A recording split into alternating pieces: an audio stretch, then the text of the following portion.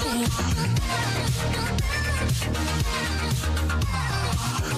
il y en a un qui s'est imposé hier et qui a un maillot bleu. C'est pas une couleur qu'on a l'habitude de lui voir sur les épaules. Il s'appelle Jonas Vingegaard. Il avait remporté bien sûr le Tour de France en juillet. Jonathan Milan lui a remporté les deux premières étapes. Il est surtout toujours leader au classement général pour, attention, une seconde. Et oui, alors, est-ce que ça, va se jouer à la bonification? Est-ce que ça va se jouer à l'arrivée euh, aujourd'hui? Est-ce qu'on va attendre demain pour euh, Jonas Vingegaard pour pouvoir faire euh, des différences? Ce sont des questions qu'on va se poser, bien sûr. Bonjour à vous, bonjour à ma super équipe aujourd'hui autour de ce plateau de Ça va frotter. Faites la moue, Patrick, ça vous va pas quand je dis que c'est une super équipe Mais Ah bah, tout, tout clair, tout va bien. Kevin, tout va bien aussi Également. Parfait. Christophe Parfaitement bien. Vous Oui, aussi Il y a un problème de saison entre, entre Ouais, vous deux. Il y en a un ouais, qui est plus couvert que l'autre. Je... T'as attrapé froid, c'est ça T'es rentré trop tard hier soir Par- Vous, vous n'avez pas froid par contre. Le seul qui a roulé ce matin, quand même, s'appelle Patrick Chassé. Ah non, respectez les téléspectateurs, on va. Euh, on va aller voir euh, dans quelques instants Charles-Antoine Nora pour voir le profil de cette euh, étape. On est déjà au quatrième jour. La Croix Race va se terminer dimanche sous vos yeux en direct. Patrick, est-ce qu'on regarderait pas d'abord, c'est pas du tout français, le profil de cette étape Oui, c'est un profil qui. Bon, alors attention, hein, parce que les, les côtes sont, toujours un petit peu euh, surestimées, en tout cas sur ce graphique. On a l'impression que c'est une étape de moyenne montagne, il ne faut pas exagérer.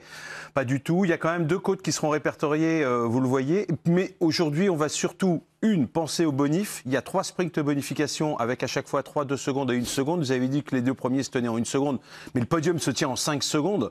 Donc les bonifs peuvent apporter des, des- des modifications, on va en parler. Et puis, euh, juste après la ligne, un premier passage sur la ligne, vous le voyez, cette dernière bosse de troisième catégorie, euh, qui est pas longue, hein, mais qui fait 8%, juste après la ligne, qui peut permettre peut-être à des punchers d'anticiper sur un, éventuel sprint final. Juste après et juste avant la ligne hein, également, parce que du coup c'est avant le passage, juste entre après les deux, le quoi. premier passage, mais c'est aussi avant le dernier passage, donc euh, Voilà. l'arrivée. Juste Charles-Antoine- après le premier passage sur la ligne. Charles-Antoine Nora va certainement euh, très bien nous décrire tout ça. Vous êtes toujours accompagné de Charlie Fort Boursereau. Bonjour, Euh, Carlito. Est-ce que vous avez regardé ce, ce final? Bonjour Claire, bonjour à toutes et à tous. Effectivement, avec Charlie euh, Fort-Bourseron, on se trouve ici à l'arrivée de cette quatrième étape. C'est un final euh, assez compliqué en, zone urbaine. Vous le verrez euh, sur les images du direct tout à l'heure. Il y a de nombreux virages à angle droit. La route est assez étroite. Et puis il y aura certainement un écueil qu'il faudra éviter pour le peloton. Cet écueil, c'est celui de la météo. Les coureurs nous l'ont dit ce matin au moment du départ. Ils attendent des orages à l'arrivée de cette quatrième étape, des orages qui pourraient compliquer la tâche euh, du peloton s'il devait y avoir un sprint euh, dans ce final euh, très urbain. Voilà euh, tout ce que l'on peut vous dire euh, de ce final euh, de cette quatrième étape. On espère qu'on n'aura pas à avoir recours à ce fameux camion, hein, le camion de la photo finish qui se trouve, vous voyez, juste derrière nous. Qui ne vous quitte plus, euh, visiblement, Charles-Antoine Nora. Merci pour cette pointe d'humour. On vous retrouvera avec plaisir euh, tout à l'heure. On va parler de Vignegor, donc on va parler aussi d'Axel Laurence, qui a fait un magnifique euh, final euh, hier. Mais avant, j'ai une toute petite question. Il passe, euh, Jonathan Milan? Aujourd'hui? Ouais, la Oui, bosse bien sûr. Bah oui, il Facile est passé hier. Il, enfin, il est passé hier. Il finit pas loin hier. Non, non, il passe. Bah, hier, s'il a passé 20% des pentes à Sans 20%, aucun aujourd'hui, ça devrait aller. Il n'a pas tout mis hier. Non, non. Vous me paraissez optimiste quand même. Oh ah, la contradiction. Ok, ok, on garde ça pour les pronos tout à l'heure. On, voilà, on a lancé, c'est un, c'est un teasing. Euh, donc Vingegaard, qui est donc de Vingegaard, qui est de retour parce que c'est sa première course après le Tour de France. C'est un retour donc réussi pour le vainqueur du Tour. On va regarder à nouveau cette arrivée justement hier où on a vu Milan faire le tempo. D'ailleurs, il est en tête, c'est là Kevin.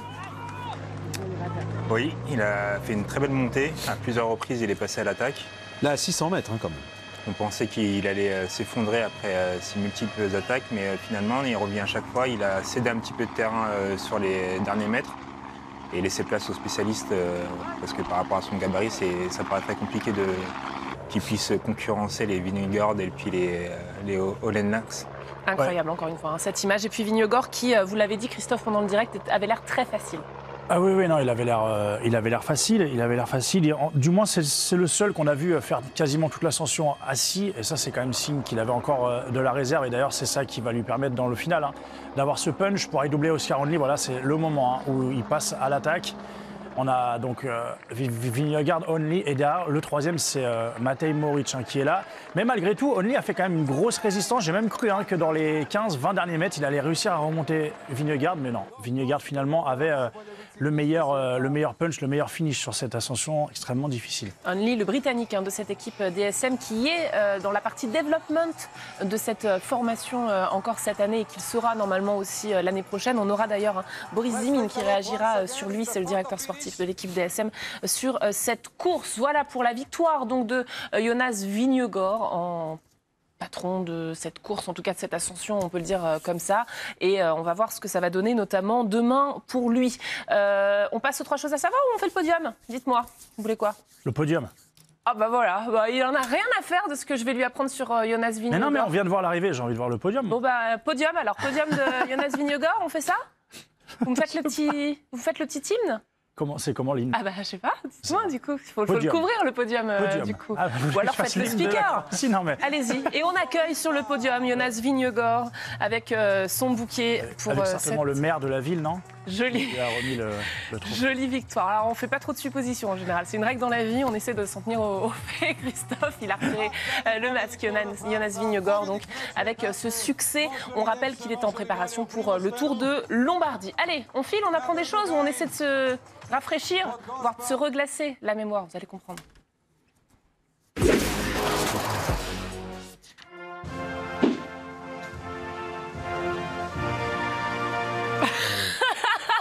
Jonas Vingegaard. Je m'y attendais pas non plus à celle-là. Jonas Vingegaard, euh, qui s'est donc euh, imposé euh, hier. Trois choses à savoir sur lui. Eh bien, il était poissonnier avant de passer professionnel. Il travaillait en fait dans une usine de poissons. Alors poissonnier, c'est pas vraiment le bon terme, mais c'est une façon de caricaturer tout ça. Vous l'apercevez toujours avec le même visage, hein, juvénile. D'ailleurs, Jonas Vingegaard qui disait qu'il faisait ça le matin, en se levant parfois à 5 h du matin, qu'il allait rouler hein, ensuite derrière pendant 4 heures. C'est quand même une belle preuve d'abnégation. Quand vous devez aller vous entraîner pendant 4 heures après avoir travaillé toute une journée dans l'usine, le jour où vous vous consacrez pleinement au cyclisme, cela fait une grande euh, différence. Ça fait partie des anecdotes. C'est vrai qu'on a parfois des coureurs euh, qui ont travaillé jusqu'à très tard pour passer professionnel, euh, etc. Ça forge quand même euh, un mental de faire ça, Kevin. Oui, c'est sûr. Euh, voilà, il a appris euh, ce que c'est la vie, euh, la vie réelle, avant de se consacrer entièrement au, au- au vélo. Et puis euh, maintenant, il, il se- il est pro, il a gagné le Tour de France. C'est un sacré grand écart. C'est, pas, c'est, étonnant. Son parcours, il est, il a- il est pas, il est atypique.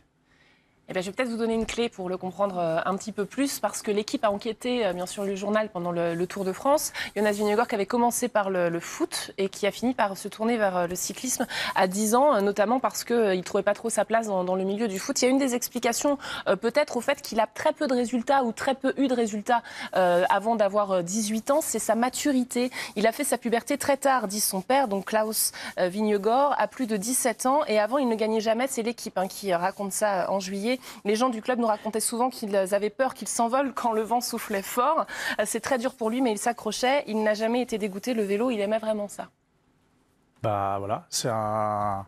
C'est quelqu'un, bah, comme quoi euh, la détection euh, tôt, des, fois, bah, on serait passé à côté de Vingegaard. Donc c'est à voir. Non, bah voilà, il- de toute façon, on a, bien compris que son parcours familial, et, il avait, il avait d'autres choses à faire avant. On voulait pas qu'il fasse que du vélo. Donc ça va avec le fait qu'il était euh, poissonnier avant. On lui a proposé d'autres métiers avant. Et c'est ce qui fait aussi sa maturité tardive et ce qui fait aussi qu'aujourd'hui, il est certainement aussi bon. Il a été chercher d'autres, il a d'autres ressources euh, mentales et, et certainement physiques qu'il a acquis euh, pendant sa jeunesse. Oui, on dit qu'il est euh, assez timide, hein, en tout cas assez renfermé euh, encore euh, Jonas euh, Vingegaard dans sa personnalité. Et puis donc le troisième euh, fait, on va revenir au tout début de sa carrière, passé professionnel en 2019.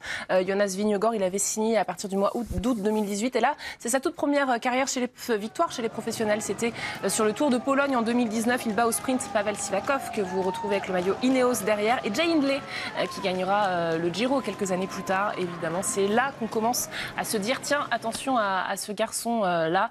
Euh, voilà pour pour sa victoire. J'ai une dernière question euh, pour terminer ces trois choses à savoir. Est-ce que vous savez avant qu'il termine deuxième du Tour de France en 2021 combien de grands tours il avait disputé euh, Jonas Vingegaard avant? Si vous posez la question, c'était zéro, non? Non un. Hein Ah, Avant de, gagner, avant de gagner le tour Non, cette année? avant Non. de faire deux en Ah. 2021. Mince, Je pensais avoir trouvé le piège.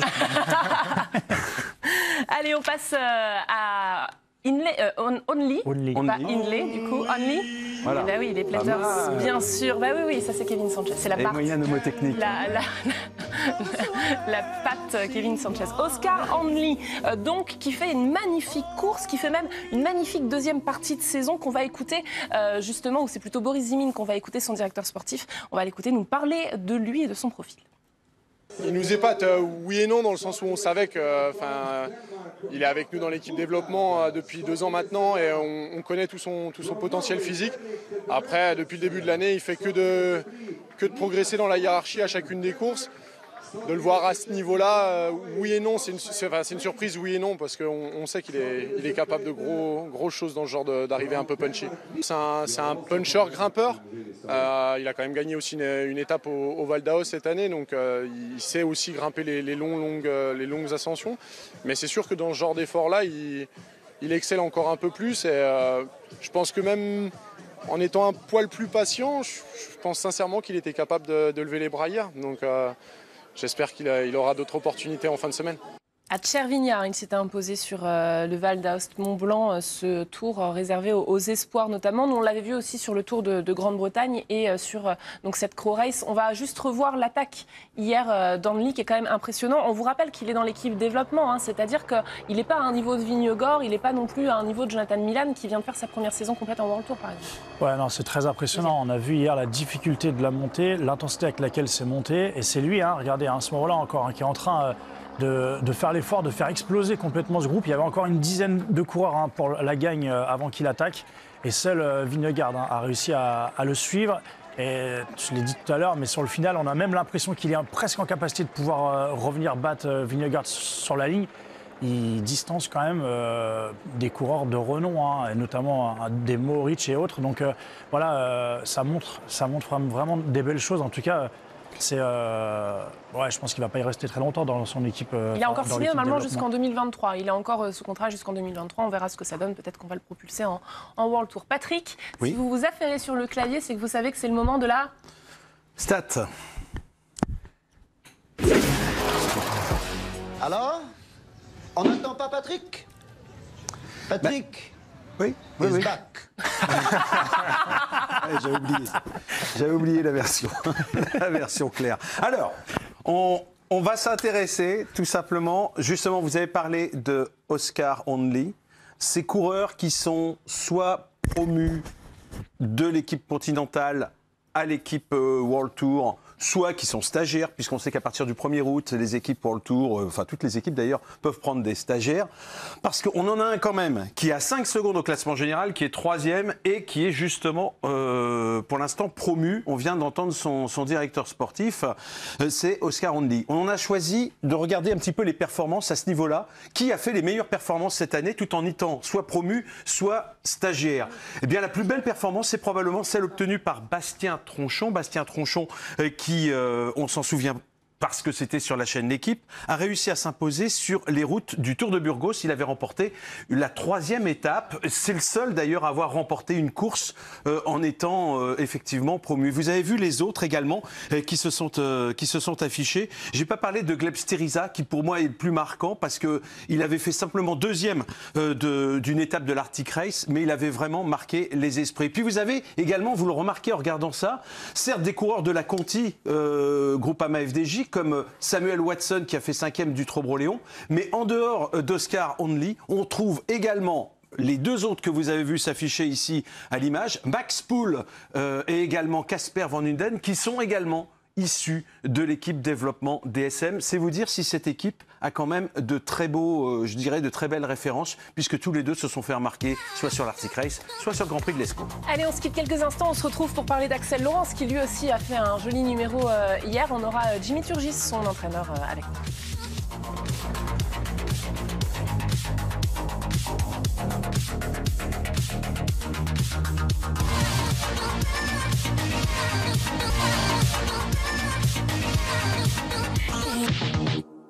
Allez, on vous l'avait promis, on va parler d'Axel Laurence, toujours très bien placé au classement général de cette euh, Crow Race, auteur d'une énorme montée hier. On va tout de suite accueillir sans plus attendre son entraîneur Jimmy Turgis qui est avec nous, qui va apparaître normalement, ah non, à côté de moi cette fois. C'est toujours la surprise. Bonjour Jimmy.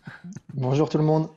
Alors, je ne vais pas vous demander si vous avez été bluffé, vous, par euh, Axel Laurence, qui est aujourd'hui septième hein, au, général, mais plutôt euh, si euh, tout ce qui se passe cette saison, vous vous y attendiez, parce qu'il a quand même une palette assez large, finalement. Ouais, tout à fait. Non, il nous a quand même surpris parce que bah, il progresse vraiment très vite, alors qu'il c'est un jeune coureur. Après, on savait qu'il avait de très belles qualités pour pouvoir s'exprimer dans le dans le monde professionnel et il le montre là, surtout sur la deuxième partie de saison. Sur quoi vous, vous l'attendez en fait euh, Quand on pointe un petit peu, c'est quel type de profil? Parce que nous, on a l'impression que pour l'instant, on ne sait pas trop où il peut s'arrêter, Axel Laurence. Vous avez les mêmes euh, sentiments Euh, bah, en fait, on a fait un, un choix un peu cette saison de vraiment optimiser euh, son point fort, qui est euh, typiquement euh, l'arrivée d'hier. Vraiment, le, le punch, c'est un garçon qui va très vite, que ça soit euh, sur des, ex- des exercices courts ou vraiment un peu plus longs comme hier. Donc, on a vraiment travaillé ça plus cette année pour qu'il essaye de décrocher euh, sa première victoire. Donc, c'est vraiment sur ce style de terrain qu'il est le plus fort, c'est dans les arrivées pour puncher.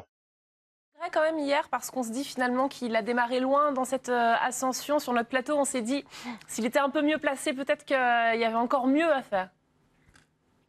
Oui, c'est vrai qu'on on le voit finir aussi fort, c'est quasiment lui qui termine le, le plus vite la partie raide. Donc je pense qu'il a aussi été un peu économe dans la première partie pour pouvoir lâcher les chevaux à la fin. Et voilà, avec le petit placement qui était euh, pas top top au, au pied, ça, je pense que ça lui coûte ouais, une, une très belle place qui aurait pu être euh, meilleure que ce qu'il a fait hier.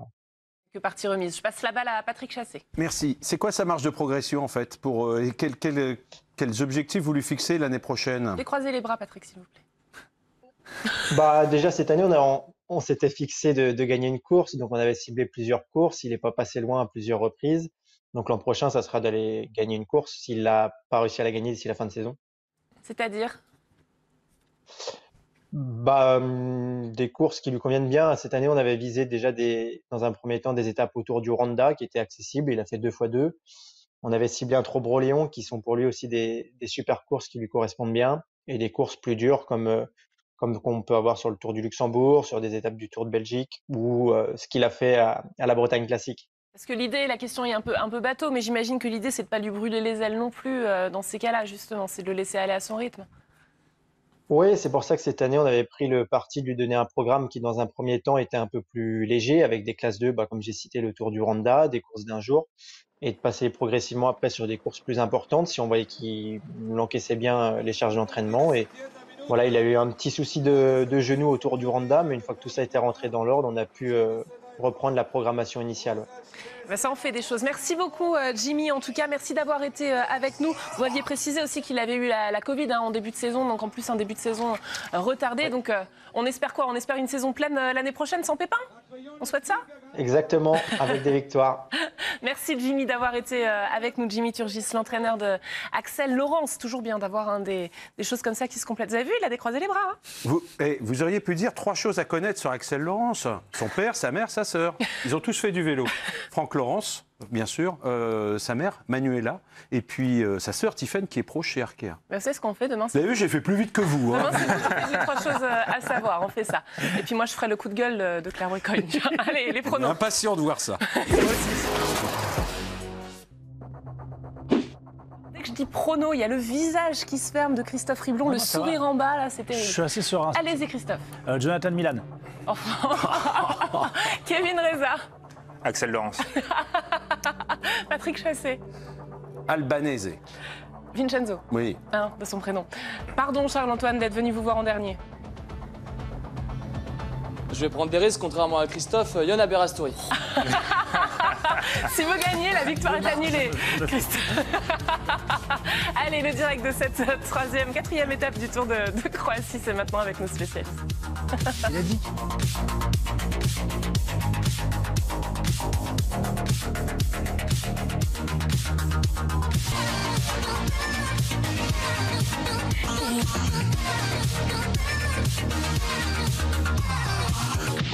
Allez, on va filer euh, vers cette euh, quatrième étape du Tour de Croatie euh, aujourd'hui. Il y aura ensuite, bien sûr, l'équipe de Greg avec Karine Galli. Puis l'équipe du soir, ce sera à 19h45. Et puis à 21h, un match amical, c'est du handball féminin entre la France et l'Allemagne. Voilà pour votre joli programme donc, de cette euh, journée. On va retourner tout de suite du côté de, la Croatie. Jonas Vingegaard s'est donc imposé hier, mais pour l'instant, c'est Jonathan Milan qui est toujours leader pour une petite seconde. Et attention, on est déjà bien éparpillé du côté du peloton là. Oui, ça roule, effectivement, Claire, au sein du peloton, ça roule assez vite. On est à moins de 70 km de l'arrivée et vous voyez qu'une échappée a pris quand même plus de 3 minutes d'avance. C'est l'étape marathon de ce Tour de Croatie. C'est une étape de 221 km qu'on vous propose. Alors on va pas vous montrer les 221 km puisque je viens de vous dire qu'il en reste 70, mais les coureurs, eux, en ont déjà fait un bon bout depuis le, départ. Et effectivement, Claire Bricogne l'a bien noté, le rythme est enlevé dans cette, euh, dans cette étape. On ne peut-être pas arriver en retard euh, à l'issue de cette étape. Nous, on est content quand les coureurs n'arrivent pas en retard. Eh bien, ça va frotter à un peu plus de temps le soir, voilà, avant l'équipe de Greg, qui, rappelons-le, est à 17h15. J'ai jamais fait une promo aussitôt dans cette étape. Alors, en ce qui concerne le... Oh bah attendez, on est en train de revoir à la baisse l'écart. Ça, c'est notre GPS préféré sur le Tour de Croatie. Ce n'est pas une surprise de voir l'équipe Bahreïn Victorious rouler actuellement en tête du peloton. Un coureur de l'équipe Ineos, c'est Castroviro qui est là, Ouais. qui euh, va peut-être participer à la poursuite, euh, lui aussi. On verra ça euh, dans quelques, dans quelques instants. On a pris la mesure de, de l'échappée. Alors derrière, eh bien Vingegaard, il a tout simplement le maillot bleu de leader du classement par points. Il n'est pas le leader en réalité, mais c'est par défaut qu'il porte ce maillot. Et juste derrière lui, Kevin Reza, c'est Victor Koretsky. Tiens, on s'est interrogé un petit peu sur Koretsky. Il est tombé Ouais, il est Vous avez vu depuis ça, il est craqué. Ah, j'avais pas vu effectivement. Sur, sur le côté gauche. On a un- Bon, apparemment ça a l'air d'aller, il a, il, a, il a continué, il a pris le vélo, mais euh, il s'est bien égratigné en effet. Bon, bah, sale journée quand même pour, euh, pour euh, Koretsky. Hier, c'était pas non plus probablement le- la journée dont il, euh, dont il rêvait, puisqu'il souhaitait probablement réaliser un meilleur résultat. Ça n'a pas été le cas. Non, on pensait qu'il aurait mieux figuré que, que ça. Il a essayé de, de bien se positionner avec euh, l'appui de Cyril Gauthier. Mais euh, finalement, non, ça, ça a été son coéquipier Axel Laurence qui, euh, qui en a profité et euh, qui, a, qui, qui est bien remonté sur le final et avec une belle 17 e place à, à la clé. On lit de ces trucs parfois sur les réseaux sociaux. Non mais franchement, j'ai lu un truc sur Cyril Gauthier qui décidément fait vraiment une, une, une- une- une- pas une bonne saison quoi. Hier, ouais, regardez, il fait le numéro devant dans le final et puis finalement il termine à une minute. J'ai lu ça. Non mais alors faut peut-être expliquer, je ne parle pas des téléspectateurs avisés qui nous écoutent, mais il faut quand même rappeler qu'un coureur peut très bien faire le travail d'équipier et après se relever et terminer à une minute. C'est exactement ce qui a dû se passer d'ailleurs. Bien sûr, il roulait pas pour lui hier Ah bah, dans le final, Cyril Bien sûr que non, il ne roulait pas pour lui. S'il roulait pour lui, il n'aurait pas été devant comme ça dans les, euh, dans les 5 derniers kilomètres. C'est, c'est, impossible de pouvoir prolonger euh, l'effort aussi longtemps à l'avant du peloton. Donc non, non, il était là pour, euh, pour positionner ses leaders, Victor Koretsky, Axel Laurence. Euh, il l'a très bien fait. Euh, après, sur la stratégie BNB, c'était très bien fait de la part de Cyril. Après, c'est vrai que euh, Victor Koretsky Laurence étaient plus loin. Mais ça, lui, à la limite, il y est, il y est presque pour rien. Mais non, non, il n'était pas là du tout pour travailler pour lui. Il était là clairement pour travailler pour les autres. Et hier, on l'a vu, Axel Laurence, eh bien, finalement, même s'il n'était pas très bien placé, d'ailleurs, euh, mal placé, même, on peut dire. Cyril Gauthier, il était mal placé. Cyril Gauthier s'en est rendu compte. À un moment, il roulait devant. Il s'est retourné, il a dit mince, ils sont pas là, ils sont pas là, ni Koretsky ni, ni Axel Laurence. Axel Laurence, euh, bah, a pu- ah oui, il n'y a pas que d'ailleurs, il n'y a pas que Victor Koretsky qui est tombé, hein, puisque on voit ici le coureur de l'équipe Uno X qui a été victime de cette chute. Jonas Wilsley. Ah bah lui, il, est- il a dû aller dans le bas côté. Ils sont, a priori, il y a quand même eu euh, plusieurs coureurs hein, qui sont allés, qui, ont été impliqués dans cette chute. On nous a pas proposé hein, les images de cette, euh, de cette chute. Euh, on les verra peut-être. Euh, Gregard Wisley, qui est un, un équipier de Thorsten Train et de Morten Hulgaard. Allez, on revient maintenant sur l'échappée. L'échappée, donc, vous voyez, bah, une échappée encore assez consistante. Six coureurs aujourd'hui, euh, six coureurs qui euh, vont essayer euh, de, résister le plus longtemps possible aux hommes du, peloton. Parmi ces six coureurs, bah, les équipes que l'on a vues déjà ces derniers temps, avec notamment la formation Ljubljana. Ici, c'est Hans Skok, maillot jaune et noir. On a un coureur de l'équipe Kern Pharma, il s'agit de Eugenio Sanchez, euh, qui euh, est également dans cette, euh, dans cette échappée. On retrouve aussi dans cette échappée un coureur de la formation Adria Mobile. Il s'agit de Osevar, Christian Osevar, je prononce sûrement mal. Il s'agit de l'un des, Slovènes de cette, de cette formation. On doit avoir également dans cette échappée, alors je ne l'ai pas revu, Rainer Keplinger de l'équipe Rinko Advarix. Keplinger que l'on avait déjà vu offensif, mais j'attends d'avoir de, de, d'avoir la, la confirmation. Et puis un coureur de la formation Vorarlberg euh, qui est également dans cette, euh, dans cette échappée. C'est bien l'échappée hein, Ouais. que l'on voit ici. Et il s'agit de Linus Stari. Alors, il y a eu, parce que euh, le- la composition de l'échappée, pour ne rien vous cacher, et vous, avez, vous en êtes peut-être rendu compte, on la découvre en fait sur ces, sur ces images. On a eu des petits soucis pour avoir les informations. Mais le plus important, parce qu'on était surtout euh, à l'affût des infos concernant les deux premiers sprints intermédiaires, le premier sprint intermédiaire, l'échappée n'était pas sortie. Et c'est le peloton qui s'est disputé cette, euh, cette échappée. Et attention, c'est le leader de la course, Jonathan Milan, qui est passé en tête de cette première bonification. Il a devancé Jacopo Mosca et Vincenzo Albanese.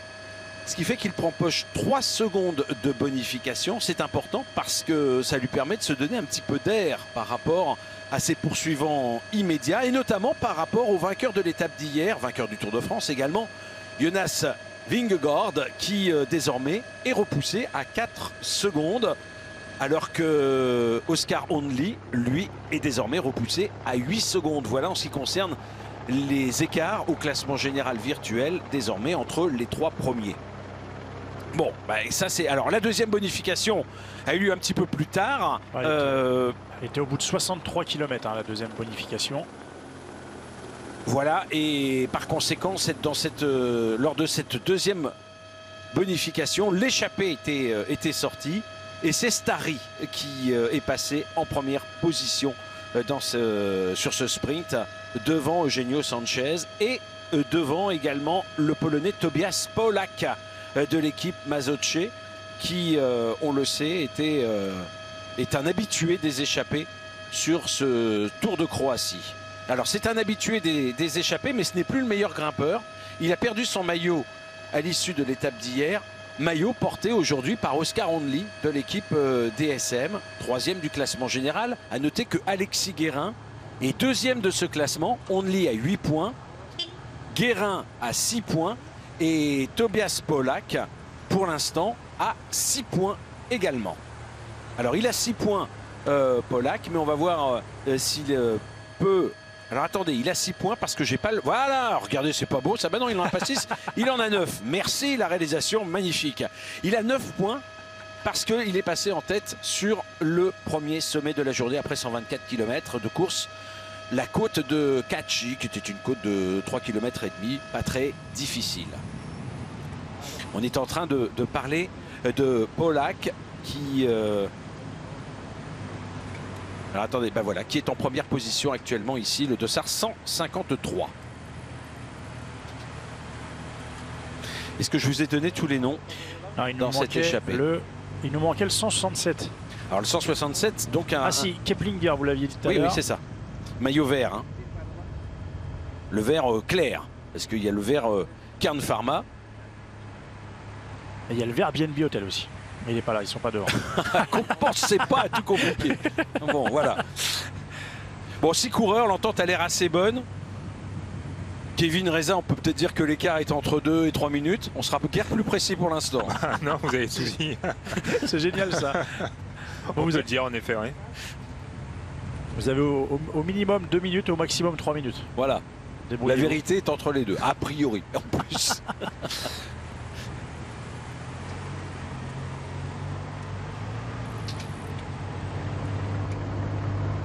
Allez, le peloton, le peloton sous la conduite du coureur de la formation Bahreïn euh, Victorious.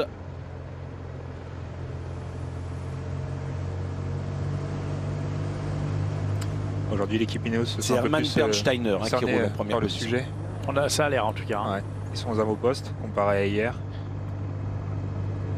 Tout à l'heure, on a même vu euh, Castrovir être dans la file des coureurs qui prenaient des relais en tête de peloton. Alors là, c'est plus le cas. Effectivement, l'équipe Ineos est, bien- est positionnée bien plus haut dans ce peloton. Bon alors attendez, attendez, attendez. On va commencer à parler stratégie là tout de suite. On va pas attendre.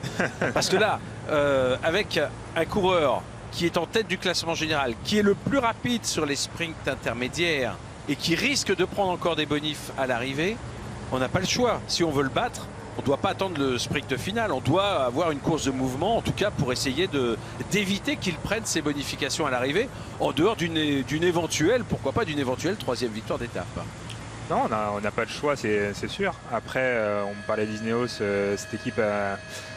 Non, on parle de Euh, Jumbo parce qu'on les a l'image. oui. Comment ils vont faire? Bah, ils vont faire, ils vont euh, durcir la course. Ils ont, euh, ils ont pas le choix. Intrinsèquement parlant, euh, ils sont beaucoup moins rapides que, que Milan au sprint. Il faudra, il faudra l'user, il faudra l'é- l'épuiser et puis euh, arriver à avoir une stratégie que- pour le, pour le contrer dans, dans le final avec, euh, avec la difficulté qui, euh, qui va se présenter à eux. On peut le surprendre, vous croyez? On peut surprendre Jonathan Milan et l'équipe Bahreïn qui roule actuellement en tête Franchement, euh, sur l'étape du jour, moi, ça me paraît compliqué. En vue de ce qu'on a vu hier, Jonathan Milan, euh, l'ascension, on l'a vu, a été quand même extrêmement raide, extrêmement difficile. Elle a fait une grosse sélection et il était encore là, il était encore bien présent. C'est même lui, hein, euh, peut-être. Il a peut-être été un peu trop ambitieux, mais c'est même lui qui a attaqué à une ou deux reprises, peut-être même trois fois. Donc euh, c'est lui qui lance à 500-600 mètres de l'arrivée et, au final, il, vient quand même, euh, il sauve son maillot. Il arrive qu'à 10, il arrive qu'à non, j'allais dire à 19, non, il arrive qu'à 9 secondes de Jonas Vingegaard. Donc euh, voilà, il y a non, il a, il montre vraiment des très belles choses. Aujourd'hui, à l'arrivée, on a une ascension d'un kilomètre, d'un kilomètre à 8% Si ce n'est plus. Euh, Parce que euh, des fois, ça peut nous non mais si si par parce que le Est-ce a- que c'est exact non mais si si parce qu'on a regardé avec Patrick et en fait l'arrivée euh, le circuit final aujourd'hui est, est le même que que l'année dernière. que la quatrième étape de l'année dernière donc euh, on le on connaît euh, cette ascension d'ailleurs on en reparlera mais c'est un, un circuit extrêmement technique et au sommet il reste 6 km voilà donc euh, bon, 6 il faut- km de descente. 6 km ouais, quasiment de descente, en, en tout cas sur, sur une belle route avec un final assez tortueux. Moi, ça me paraît court aujourd'hui pour lâcher Jonathan Milan. Je pense que si on a l'ambition euh, de vouloir euh, lui, lui ravir le maillot du classement général, je pense qu'il faut se concentrer sur l'étape de demain qui est bien plus difficile et qui correspond beaucoup plus aux, qualités euh, d'un coureur comme Vingegaard plutôt qu'un coureur comme Milan. Aujourd'hui, on, on verra, je peux me tromper, mais j'ai l'impression quand même que Jonathan Milan, il, a, il est en excellente condition et aujourd'hui, ce sera trop court pour pouvoir le distancer. C'est Mohoric qui va lâcher son équipier Milan finalement aujourd'hui Ah. dans la descente. Non, c'est pas petite, ça petite polémique au sein de la Non, pas de polémique. Bah si, hier il l'a pas attendu Jonathan Milan, il a, il a été faire troisième, Boric. Ah, c'est vous qui faites la polémique. Euh, attention, attention, on va surveiller ça de près. Non mais on rappellera aussi que le premier jour, Matej Mohoric, Il sort, il fait le kilomètre comme on dit hein, dans, le, dans le jargon. Alors peut-être pas le kilomètre d'ailleurs, il était sorti un peu plus près que ça de l'arrivée, il me semble. Et, euh, et c'est euh, Jonathan Milan, bon parce qu'il n'arrivait pas à creuser aussi, hein, Mohoric, il faut quand même être euh, réaliste. Mais euh, Milan était embêté parce qu'il voyait que le sprint allait être lancé, il se sentait le plus fort. Lui, on a compris son truc, c'est de lancer le sprint. Alors lui, il lance pas les sprints à 200 mètres, hein, c'est pas son Il truc. lance de très Il loin. ne va pas Lui, se c'est- préoccuper de, de ça, il fait comme sur Lui, piste, il lance les sprints. à- il- Ah, il a pris comme ça. Il a, lui, il lance les sprints à 400 mètres. Voilà, c'est un peu ça. ça- Bon, hier, il a essayé. il, a- il avait oublié que c'était quand même un peu dur. Il Sur des loin. pentes à 20%, euh, Jonathan, faut pas lancer à 400 mètres. hein. C'est un peu loin quand même, même à 600 d'ailleurs, je crois. Hier, il a commencé à attaquer. Non, on se moque, mais quel. Euh, Ouah, quel, quel brut quand même, ce coureur. Et donc, le premier jour, bah, c'est lui finalement qui, a, débordé son équipier, Mohoric, dans le final de, de la première étape. S'il avait ramené tous les sprinteurs et qu'il avait été battu, bon, bah, on lui aurait peut-être tiré les oreilles, mais il a gagné. Il a gagné, il a pris le maillot et il a conservé le maillot le lendemain et le surlendemain. Donc, euh, vous voyez, et là, il prend des bonifs qui lui permettent à nouveau de, de, de- bah, d'espérer, pourquoi pas, le, le conserver encore. Donc euh, Jonathan Milan, c'est quand même la révélation de ce Tour de Croatie. Je vous propose qu'on l'écoute puisque Charles-Antoine Nora et notre caméraman Charlie Fort-Bourseron l'ont rencontré ce matin au départ de cette quatrième étape. I tried yesterday to defend a bit the, the jersey, no, and I try also to. Hier, j'ai essayé de défendre ce maillot de leader. J'ai aussi tenté d'attaquer. Alors, j'ai peut-être fait une erreur parce qu'à la fin, vous savez, il y avait beaucoup d'adrénaline, beaucoup de tension, d'émotion. A lot of, you know, adrenaline, tension, a lot of emotion inside, and I want to do my best in the final, and I tried. Moi, je voulais vraiment donner mon maximum et j'ai donné mon maximum. Mais à la fin, il ne me reste qu'une seule seconde d'avance sur Jonas Vingegaard. Alors pourquoi pas retenter aujourd'hui dans le final? Je veux dire, pourquoi pas dans le sprint? Uh, for the final sprint. Voilà, Jonathan Milan qui nous refait un petit peu le film de l'étape euh, de, de- de l'étape d'hier. Bon, je ne sais pas ce que vous en pensez, mais vous avez été tous les deux de bons coureurs. On a l'impression que là, il est un petit peu sur son petit nuage. Euh, Il y a des moments dans, dans- dans- dans la saison ou dans une carrière où on se sent pratiquement invincible, non? Enfin, en tout cas, invincible, tout est, le mot est peut-être un peu fort, mais où on se sent en tout cas beaucoup plus, qu'on a de, beaucoup de plus la fort réussite. que d'habitude. Oui, enfin, plus fort d'avoir de la réussite, c'est. euh, ça arrive pas souvent. Je sais pas si ça arrivait souvent à Christophe ou pas, mais c'est vrai que de se sentir, euh, plus sentir les pédales pendant, euh, pendant une période. euh, À l'entraînement, peut-être non, même en, même en course, mais après, ça veut pas dire que moi j'ai jamais gagné, certes, mais euh, oui, j'ai déjà ressenti ce sentiment-là, où tout me réussissait, où, euh, où ça allait bien, où les, les places s'enchaînaient. Mais de là à gagner, non, c'est- ça n'a pas été le cas. Après, euh, si on remet dans le contexte, il a quand même gagné les deux premières étapes. Hier, sur l'étape difficile où normalement il aurait censé dû être mis en difficulté, il fait cinquième de l'étape, il a encore le maillot. Ce matin, il a repris, bon, ça c'était après, mais ce matin, il a repris des secondes de bonification. Oui, il est sur un. Il est, sur un, il est sur un petit nuage. Il a une équipe. L'équipe Bahreïn, sur le papier, c'est peut-être l'équipe la plus forte. Donc euh, c'est clair que tous les voyants sont allumés pour lui. Maintenant, euh, à, voir, on- à voir comment ça va se dérouler aujourd'hui. Mais déjà, il a déjà pris les secondes de bonification qu'il y avait à prendre. Au début, voilà, on revoit hein, les images euh, d'hier. Là, on est loin hein, de l'arrivée. Regardez, on a passé le panneau euh, 500 mètres. Et c'était très long hier, hein, parce qu'on avait des passages à 20%, notamment dans les 500 derniers mètres. Regardez, on voit bien, là, on est, on est très proche de l'arrivée. On voit bien la difficulté de la pente. Qu'est-ce que c'était beau hier Et Enfin, je dis ça Jonathan parce qu'on Miller, ouais. on n'a pas eu le temps de le dire hier. C'est vrai que l'arrière-plan est magnifique. Mais vous disiez, il est sur un petit nuage. Pour tenter ce qu'il a fait hier à 500-600 mètres de l'arrivée, il faut vraiment être. faut- C'est un coureur en, en confiance hein, qui fait ça. hein. Si- Ou alors c'est un coureur qui est équipier. Regardez, là on est encore à quoi À 250 mètres de la ligne et c'est encore lui qui continue, qui, qui- qui emmène, qui continue à, à produire son, son effort. Donc euh, non, c'est un coureur voilà, en confiance, qui calcule pas trop. Hier, il hier, il aurait peut-être dû Ouais, calculer. il Voilà, hier, calculer hier peut-être dû calculer un peu plus. Il est un peu dans le rouge de ses coéquipiers, euh, Moric et puis euh, Et heureusement- Budrago. Je vous interromps, Albanese va lui permettre de, de, recoller. hein. parce que là, c'est Albanese qui fait le. J'ai une bêtise Ah non, il est devant Albanese. Non, non, non, Albanese, il est devant. euh, Il est devant. Non, non, Albanese, il est là, là. Il va arriver en quatrième position. Mais euh, voilà, non, non, il est, il est clairement, oui, il est sur un petit nuage. Il est en pleine confiance. Maintenant, attention à l'excès de confiance. Qu'il est quand même en train de se battre au classement général avec le dernier vainqueur du Tour de France. Donc euh, voilà, il faut, euh, il faut quand même euh, relativiser. Je pense que, honnêtement, je pense que pour aujourd'hui, ça va passer. Maintenant, euh, il va falloir bien se concentrer pour l'étape de demain. Et un élément qui est en train d'arriver là, c'est qu'on a des gouttes hein, sur la caméra. Aujourd'hui, on nous a pas mal de coureurs ce matin nous ont parlé qu'il allait peut-être faire mauvais hein, sur le final. Alors attention avec Patrick, on le connaît bien, le circuit final. euh, S'il y a de la pluie, ça va être, euh, ça va être ça l'enfer. va, ça va être, ça va être sportif. hein. Ça va vraiment être sportif.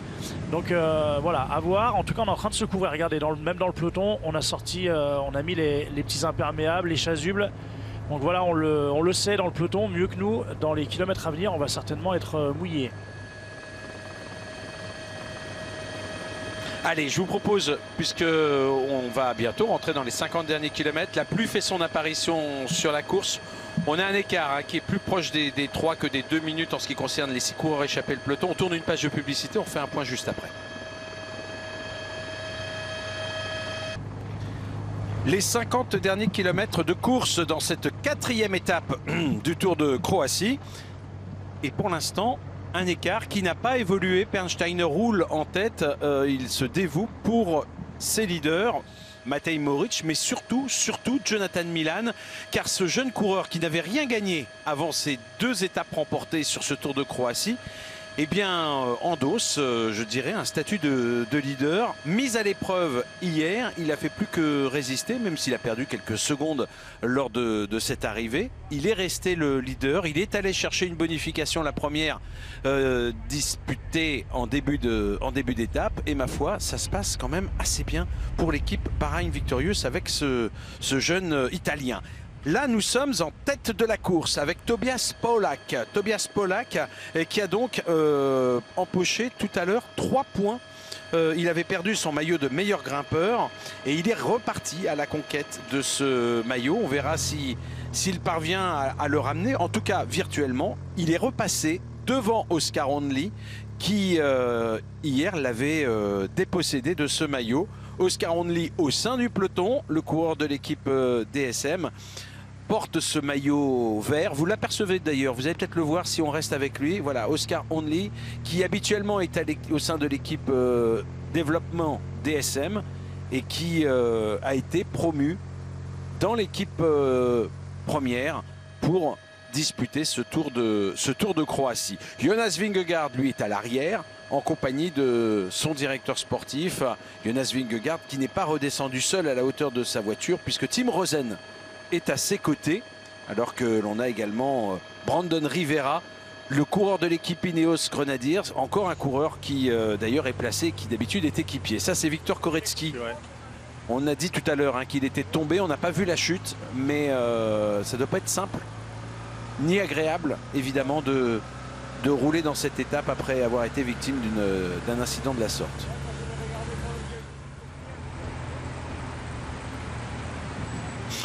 Victor Koretsky qui n'a pas pu euh, profiter de ses qualités euh, de vététiste hier pour l'arrivée euh, gravel hier pour signer une, bonne performance. Bon, c'est pas non plus la, la Bérésina hein, quand même. C'est 16e. Voilà, il fait, ouais, il fait 16e de l'étape et il est mieux, hein, je pense, au classement, au classement 15e général. à 27 secondes. 15e à 27. Voilà, 15e à 27 secondes. Il y a plusieurs coureurs hein, qui viennent de, du, du VTT. On a euh, également un coureur que l'on a vu hier euh, travailler en tête euh, du peloton qui appartient à la formation Jumbo Visma. Il s'agit de Milan Vader, à ne pas confondre avec Jonathan Milan, bien sûr, le, coureur de, leader de la course. Milan Vader, qui était en discussion ce matin avec Victor Koretsky, justement. Ces deux-là viennent du VTT. Milan Vader, qui a eu un petit souci, un gros souci même, en cours de saison. C'était sur le Tour du Pays Basque, une chute qui l'a projeté au sol, plongé dans le coma. Il a fait une longue convalescence avant de revenir. On l'écoute. Pendant le premier mois après mon crash, ce n'était pas sûr que je puisse recourir un jour à cause des complications que j'ai contractées. Par chance, j'ai eu le feu vert fin mai, donc oui, ça fait du bien d'être sur le vélo. Mais oui, on est content. Vous savez, les coureurs, alors Vader, en France, je suis pas sûr que, bien sûr, ce soit un coureur que, le grand public connaît. Je suis même sûr du contraire. Mais voilà, c'est un peu le, c'est un peu le fil des infos, de l'actualité. On apprend parfois des nouvelles dramatiques, des coureurs qu'on ne connaît pas. Mais on se demande si un jour ils retrouveront une vie normale, si un jour ils... on se pose même pas la question quand une chute aussi importante intervient, la question de savoir s'ils pourront reprendre le fil de leur carrière. Eh bien lui, il a réussi à reprendre une vie normale, à, s'entraîner, à revenir à, un niveau correct. On l'a vu travailler hier en tête du peloton. L'équipe Jumbo-Visma lui accorde sa confiance. Il est en contrat avec cette équipe d'ailleurs encore pour un moment puisqu'il avait signé jusqu'à fin 2024. C'est un coureur qui est âgé de, 26 ans. Et voilà, on ne peut pas euh, ne pas aller prendre des nouvelles et on a envie en fait de prendre des nouvelles de ce genre de coureur quand euh, son nom a, comme ça, euh, durant 24 euh, ou 48 heures, euh, occupé de la place dans, je dirais, sur les réseaux sociaux, mais aussi dans, les fils d'actualité de la communauté cycliste. Allez, on revient sur cette échappée. Six coureurs hein, qui sont sortis, non pas dès le départ, puisqu'il y avait une première bonif qui a été disputée, a, qui a permis à Jonathan Milan de prendre un peu le large au classement général, enfin en tout cas de se donner un petit peu d'air, 3 secondes de plus, ça fait 4 donc par rapport à son adversaire le plus direct, 4 secondes. Mais ensuite, eh bien, cette échappée euh, s'est isolée, on l'a laissé sortir, elle a eu ce bond de sortie dont elle n'avait pas pu disposer auparavant, c'est bien ça. C'est le peloton qui a décidé finalement à quel moment il pouvait sortir. Oui, non, ça, dépend. Après, le, parcours n'était pas forcément difficile. Mais euh, ouais, s'il y a eu un peu de course en début d'étape, euh, je pense que tout le monde avait besoin de souffler derrière et puis euh, de laisser six coureurs à l'avant-course, euh, ça fait toujours. c'est pas non plus 10 coureurs, 6 coureurs, c'est facile à contrôler derrière. Et puis pour une équipe comme Barrett Victorious, c'est assez simple à contrôler au loin. Vous avez vu Linus Stari qui ferme la marche dans cette, dans cette échappée. On a dit il y a Tobias Polak, le coureur polonais euh, qui euh, est en quête à nouveau de son maillot de, meilleur grimpeur. Euh, ce sont, on va dire, les, coureurs que l'on va citer probablement le, plus dans cette, échappée. Linus Tari qui a pu prendre 3 secondes de bonification tout à l'heure. Ces coureurs ne sont pas dangereux au classement général. Ils sont tous relégués assez loin, donc ça ne présente pas de, danger particulier ou de menace pour l'équipe Bahreïn victorieuse qui occupe pour l'instant toujours euh, seul la conduite des opérations derrière les échappés.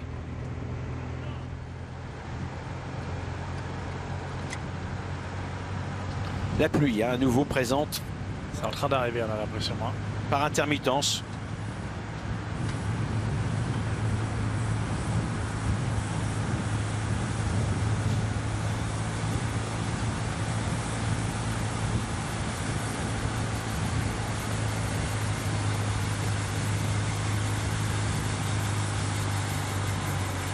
On n'est pas sur des parcours euh,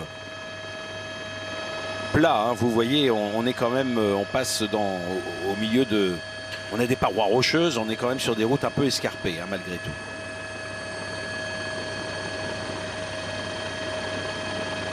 Alors, on longe pas mal le bord de mer. Hein. Ça ressemble un peu à, ce serait presque des, petits capots si on était en Italie. A, on va avoir deux trois, deux, montées avant d'aller chercher la, l'ascension finale sur le circuit final.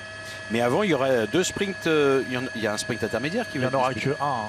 Ah, parce que le, mon, mon, graphique, il n'est pas bon alors.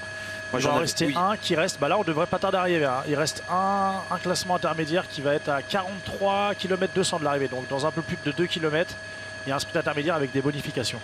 Oui, et c'est celui de Novi Vinodolski qui, qui, a été retiré, qui devait intervenir un petit peu plus tard au, au moment de pas franchir le cap des 200 km de course. Car, on vous le rappelle, c'est l'étape la plus longue de ce Tour de Croatie qui dure 6 jours, qui se terminera dimanche et dont euh, la prochaine étape, euh, on va dire la plus importante, peut-être l'étape décisive, aura lieu samedi. Samedi, attention, une demain. étape avec des reliefs. Oui, demain.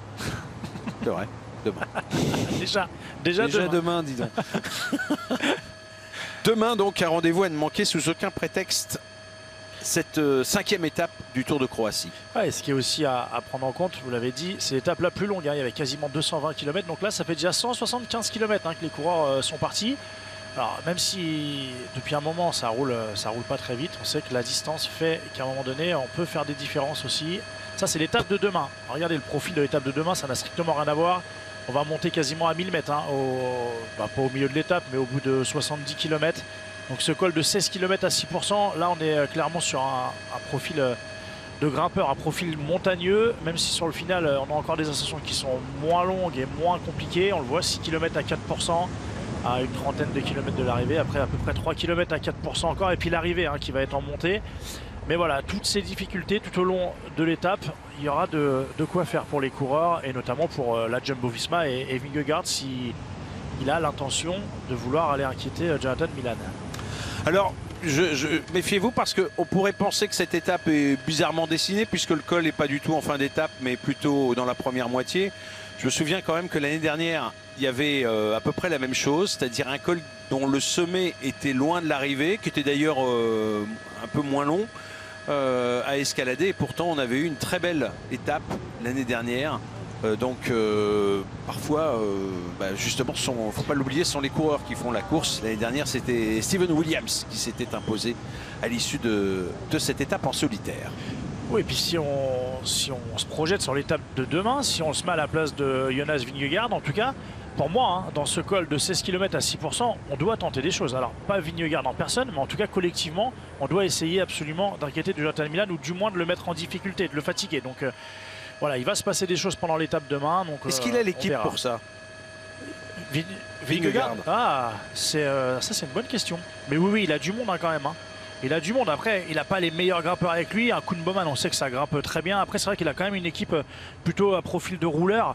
Euh, après, dans l'équipe Bahreïn, on est peut-être un petit peu mieux armé. Maintenant, la limite, c'est Jonathan Milan. On peut avoir les meilleurs grimpeurs dans l'équipe Bahreïn victorieux. Ah bah, si vous lâchez votre leader, c'est dommage. Bah oui, mais il faut pas lâcher le leader. Et c'est là où c'est là où je pense qu'à un moment donné, euh, du, du, côté de l'équipe Jumbo-Visma, on a peut-être une carte à jouer. Oui, mais bon, après, ça fait quand même depuis le début de, de cette course que l'équipe Bahreïn euh, euh, pèse sur la course, euh, mène, mène le peloton derrière les échappés. Là, la fatigue commence à s'accumuler et je pense que Jumbo Visma est beaucoup plus frais que, les membres de chez Bahreïn. C'est sûr que ça va compter. Hein. L'équipe Bahreïn, depuis, euh, mais depuis le départ de ce Tour de Croatie, hein, elle est à l'avant, elle roule, elle prend souvent la course en main. C'est clair qu'au bout d'un moment, euh, Caruso, on l'a encore vu euh, hier travailler énormément, on l'a vu travailler énormément depuis le début. Là, on fait rouler aujourd'hui Pernsteiner qui est un, bon grimpeur aussi. On est aussi en train de le fatiguer pour demain. L'étape est longue aujourd'hui. Puis en plus, regardez, ça y est, maintenant c'est officiel. Hein. Il pleut. Donc, euh, en plus, pour les 40 derniers kilomètres, on va avoir des conditions euh, humides. On sait que c'est toujours plus problématique. Déjà, il y a beaucoup plus de tension dans le peloton. Ça risque de rouler un petit peu plus vite parce qu'on va vouloir se replacer à l'avant pour éviter de prendre des risques. Et en plus de ça, on sait que ça, même musculairement, hein, physiologiquement, c'est toujours euh, plus impactant de courir sur la pluie que de courir par beau temps. Allez, vous apercevez la, ville de Néage, ville portuaire, avec, euh, on l'a vu hein, tout à l'heure, cette forteresse euh, située à, à, proximité, qui avait été euh, construite jadis pour se défendre contre les invasions ottomanes et contre les Vénitiens également. Parce que là, on est en direction de, en direction de Trieste en quelque sorte. On remonte vers le nord de la, Croatie. Alors le sprint intermédiaire, le troisième sprint intermédiaire remporté par Linus Stari euh, devant Tobias Polak. On n'a pas cherché à se disputer réellement les secondes. Euh, Linus Stari est, est, pointé avec un retard d'une minute 23 sur le leader de la course. Donc vous voyez que même si c'est la deuxième fois qu'il empoche des secondes de bonification, 6 secondes pour 1 minute 23 de retard, ça ne va pas changer considérablement la donne. Allez, là, il faut être, euh, faut être vigilant, évidemment, dans ces traversées de, de localité avec ces bandes blanches. Surtout que c'est, je suis pas sûr qu'il est beaucoup plus, Oui, euh, en tout ouais. cas aujourd'hui euh, ou, ou même hier. Sur hier, il faisait beau, donc ça, la, la première pluie, elle est- c'est toujours celle qui rend la chaussée la plus glissante. Bah, surtout que là, il- c'est même ouais, c'est une toute petite première pluie. hein. C'est vraiment juste histoire d'humidifier un peu la route. Je crois que c'est le pire là. hein. Je crois que c'est vraiment le, le pire pour, euh, pour un cycliste. Ça va retenir le, le peloton euh, parce que le, le placement sera vraiment primordial à l'approche de, de cette première difficulté et ce premier passage sur la ligne aussi.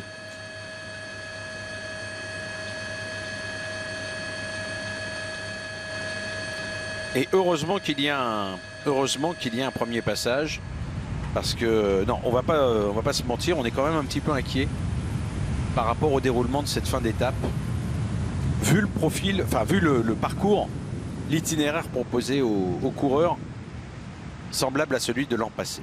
Ah, juste, euh, bon, on aura le temps de le voir et de d'en reparler, mais dans le dernier kilomètre, il y a 4 virages en, à angle droit, dont 3, non, non, dont 2 dans les 500 derniers mètres. Donc euh, voilà. voilà, si la route est comme ça, là, humide un peu comme elle l'est là actuellement, en plus on sera en ville. Donc Euh, Cyril voilà. Guimard, s'il nous écoute, Cyril, tu restes calme.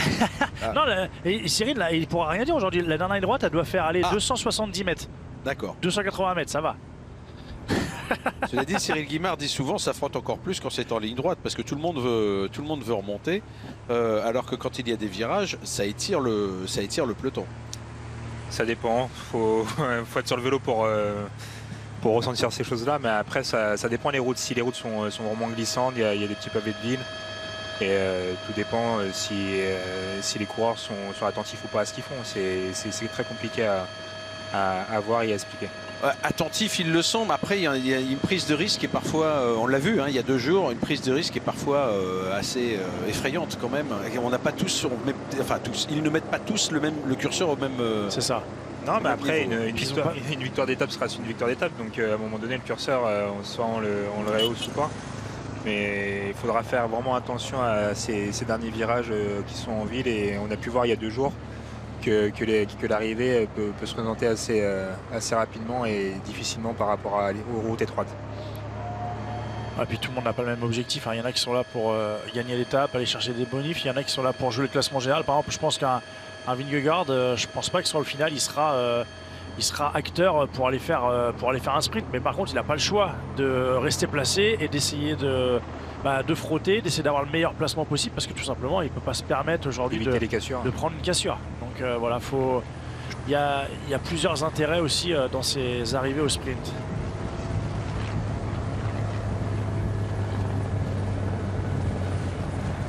Bon, on est dans la gestion hein, du côté de l'équipe euh, Bahreïn, là clairement, même à l'avant, hein, dans l'échappée, on le voit. Il n'y a pas de.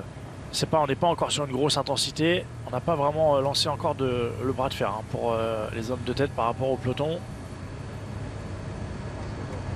Et c'est étonnant, depuis euh, que l'étape fasse 100 150 km ou euh, plus de 200 km, le peloton ne, ne- ne laisse vraiment rien.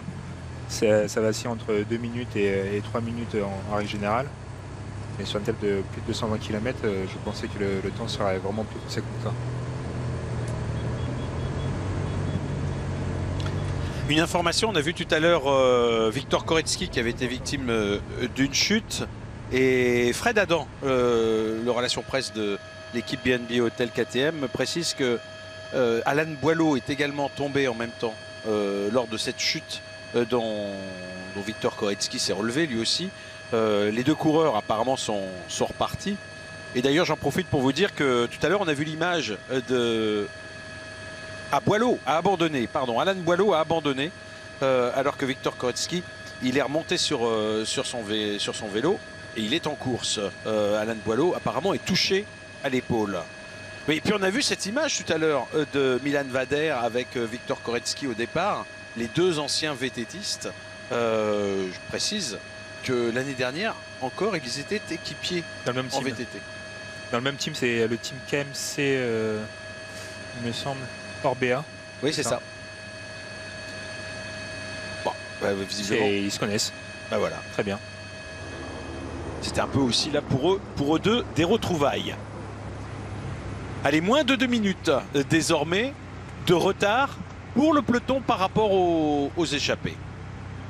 Et moins de 40 km à couvrir dans cette quatrième étape.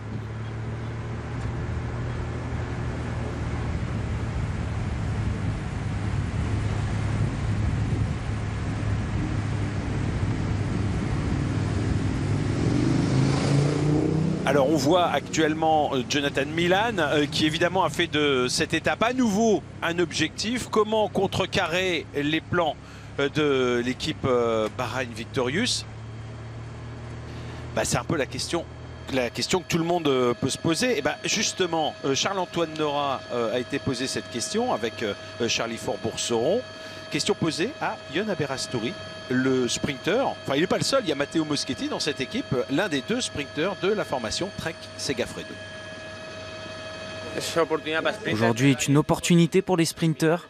Milan est très fort. Je pense que les Bahreïn tenteront de rendre le final dur dans la dernière montée. Nous verrons bien.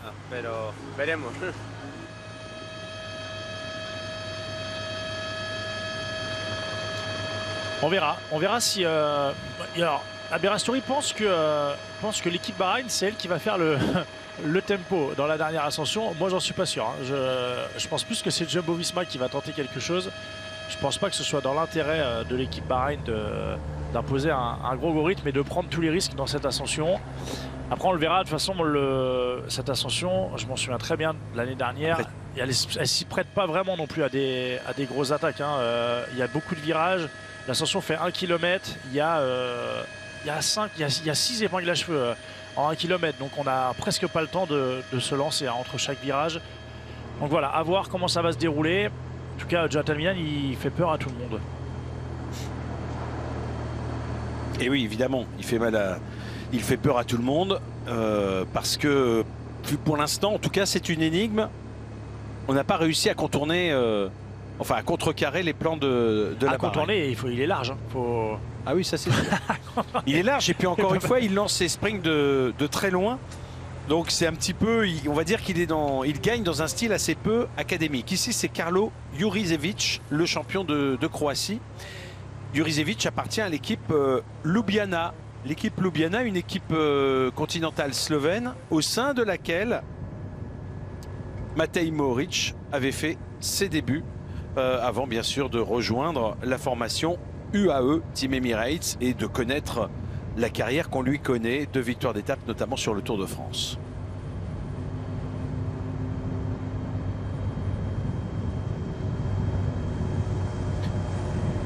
Alors, vous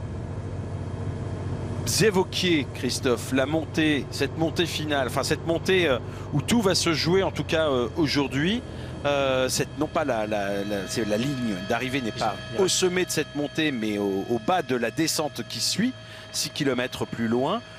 Eh bien, euh, Théo Barbet-Duquil est allé nous rechercher les images de cette montée l'année dernière. Voilà. Voilà, Donc là, on est avant. hein. Là, on est au pied de la bosse. Donc, c'est ce que j'évoquais tout à l'heure. hein. La route euh, très étroite, en plus avec des, des lampadaires sur le côté. Alors, je ne sais pas si cette année, ce sera un peu mieux protégé.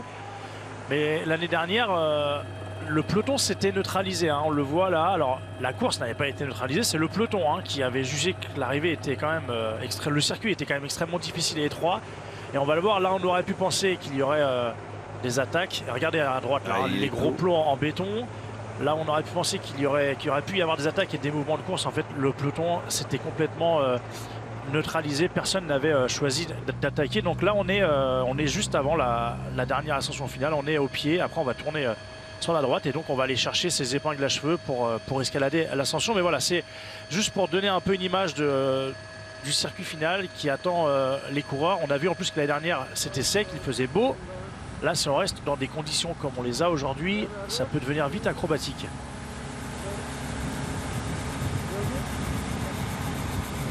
En tout cas, on aura remarqué que les conditions météo n'étaient pas du tout les mêmes qu'aujourd'hui, euh, l'an passé, sur cette, euh, sur cette même étape.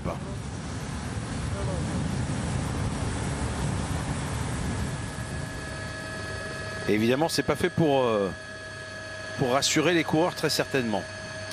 Et Pierre Roland, Pierre Roland non plus. On le, on le voit pas rassuré du tout en, en queue de paquet. Ah, il aime pas trop ça, Ah, Pierrot, non. hein, les, C'est pas son. euh, les routes c'est pas son mouillées, fort. euh, quand ça frotte, tout ça. Non, il aime pas trop ça. Il a un rôle de capitaine dans cette équipe euh, sur, ce tour de, sur ce Tour de Croatie. Une équipe qui a des ambitions, la formation BNB Hotel KTM, avec euh, Axel Laurence notamment comme leader, porteur du, maillot blanc, sixième euh, de l'étape euh, hier à Primostein, cette étape euh, difficile avec ce final en, en gravel, septième du classement général Axel Laurence avec 20 secondes de retard sur Jonathan Milan. En fait, le top 10 se tient en 23 secondes dans ce classement général.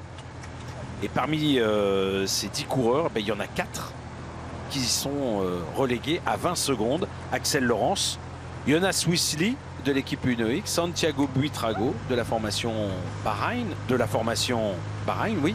Et puis euh, Chris Hamilton de l'équipe DSM, lui est à 23 secondes. Ah oui, et il y a Brandon Rivera aussi qui est à 20 secondes. Allez, moins de 35 km encore à couvrir dans cette quatrième étape du Tour de Croatie. La Cro Race euh, va bientôt arriver dans le final euh, de cette quatrième journée. Le peloton euh, doit pour cela revenir sur les échappés qui tentent de résister. On tourne une page de publicité. On se retrouve juste après avec Christophe Riblon et Kevin Reza.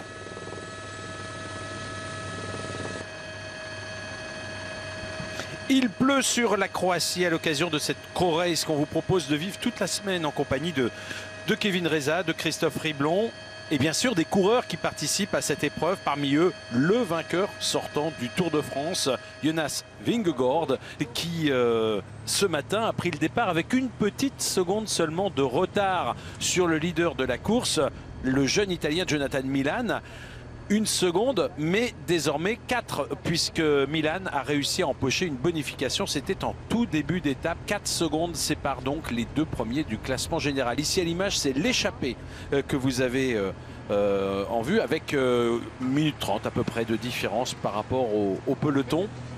Le peloton placé depuis le début de cette échappée, c'est-à-dire, bah, écoutez, depuis pas loin de pas loin de 180 km le peloton placé sous la conduite de l'équipe du leader. Personne n'est venu prêter main forte. Vingegaard ici à l'image euh, porte euh, le maillot bleu de leader du classement par points.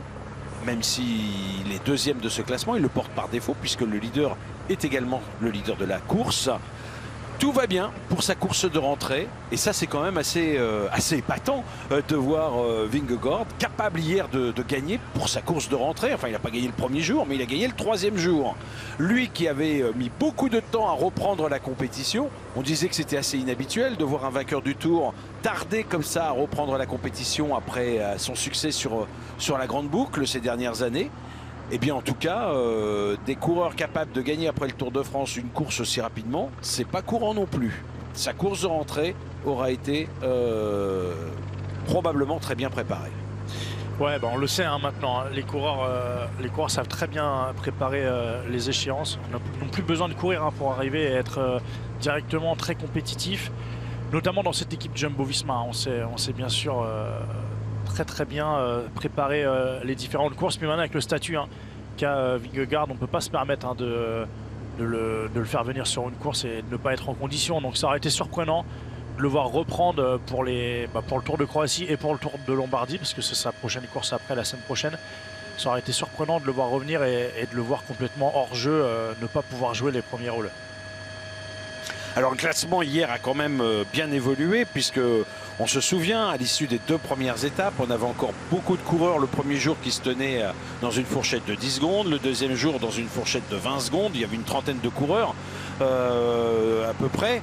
Et bien là, on voit que les écarts se sont creusés évidemment avec euh, les, les 9 premiers qui se tiennent en 20 secondes.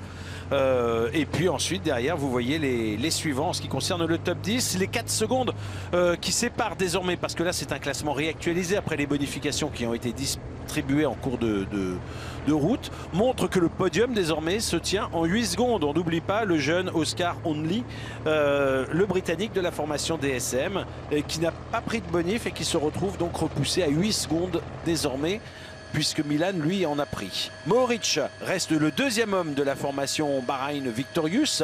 Il est à 12 secondes de son coéquipier, euh, Jonathan Milan. Vincenzo Albanese, qui peut être considéré comme un favori aujourd'hui, eh bien, figure en cinquième position au classement général, devant Brandon Rivera, le Colombien de l'équipe Ineos Grenadiers, qui est le mieux placé de cette équipe.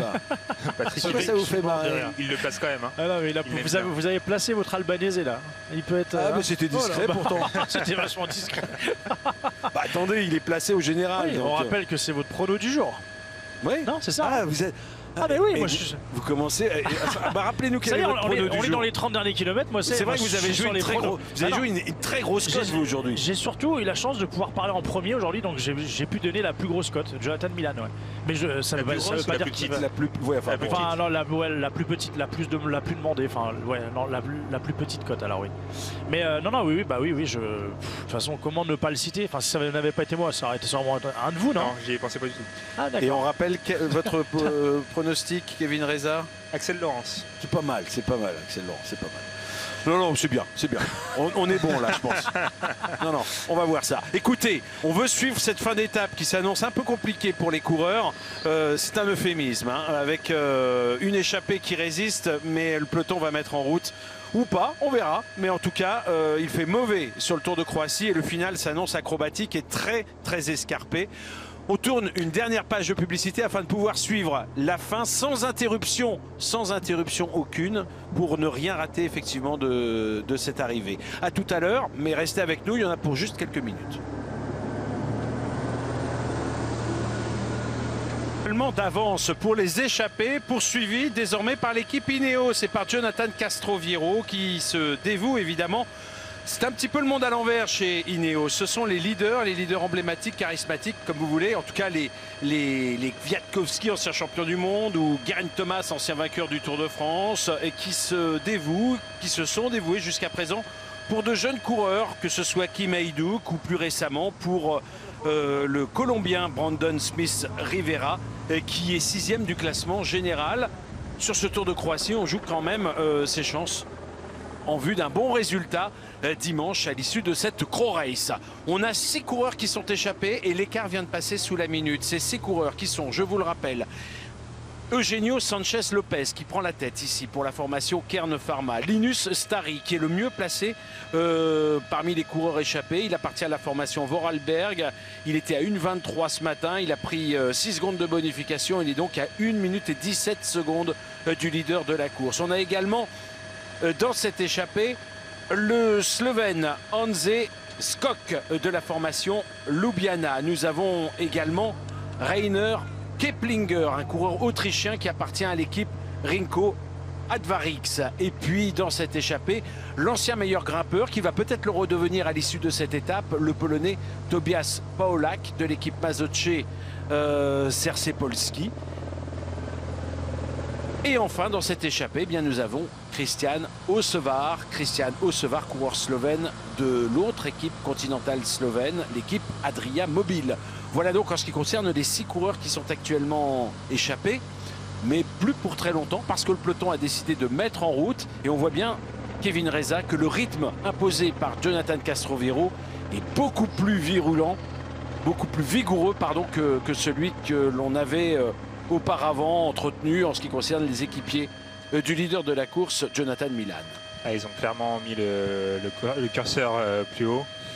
Euh, on voit la- leur ambition euh, s'appliquer euh, maintenant et à l'approche de cette difficulté, ce, ce circuit assez scabreux, ça va être, euh, ça va être du sport.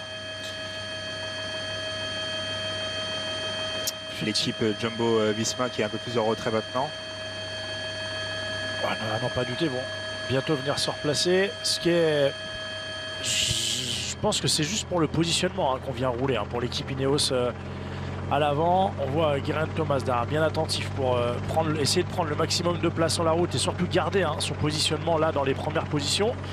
Les Jumbo, par contre, se sont fait un peu enfermer là-bas derrière. On voit l'équipe DSM qui remonte, l'équipe Eolo Cometa de euh, Vincenzo Albanese, les Cararoal aussi sur la gauche là-bas de l'écran. Mais oui, je pense que pour l'équipe Ineos, on roule pas euh, spécialement pour, euh, pour faire quelque chose à, l'étape, c'est plus pour garder le positionnement. Alors là, on est sur une, euh, un faux plat montant qui n'est pas une côte hein, réellement répertoriée, euh, mais sur les hauteurs de Novi Vinodolski. Et ensuite, on va plonger en direction de la ligne d'arrivée sur laquelle les coureurs passeront une première fois. À ce moment-là, il restera encore 10 km à couvrir.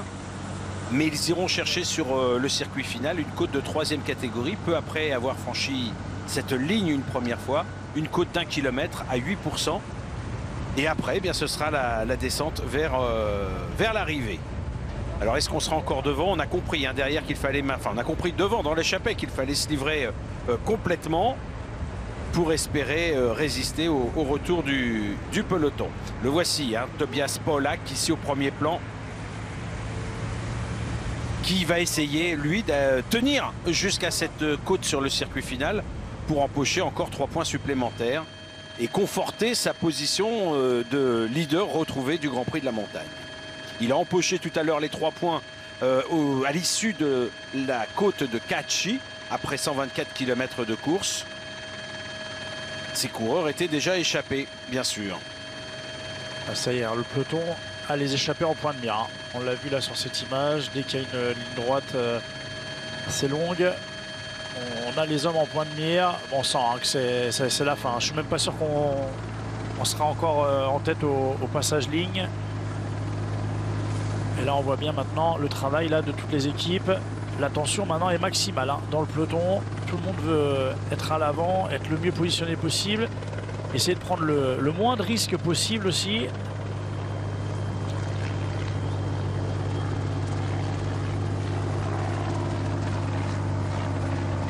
L'équipe Uno X qui est venue se replacer. Cette équipe qui a deux coureurs hein, placés dans, dans, les premiers. Jonas Wisley, 8e à 20 secondes, et Thorsten Train, qui est à 23 secondes. Et on veut absolument éviter tout risque de chute. Pour l'instant, c'est sûrement ce que les coureurs ont à l'esprit. C'est la raison pour, les, pour laquelle les trains sont, sont bien en place euh, dans, dans ce peloton. La victoire d'étape, ce sera pour un peu plus tard. On y songera. Mais là, on, voit qu'on roule très vite naturellement parce que tout le monde veut se maintenir dans une position euh, haute dans ce, peloton.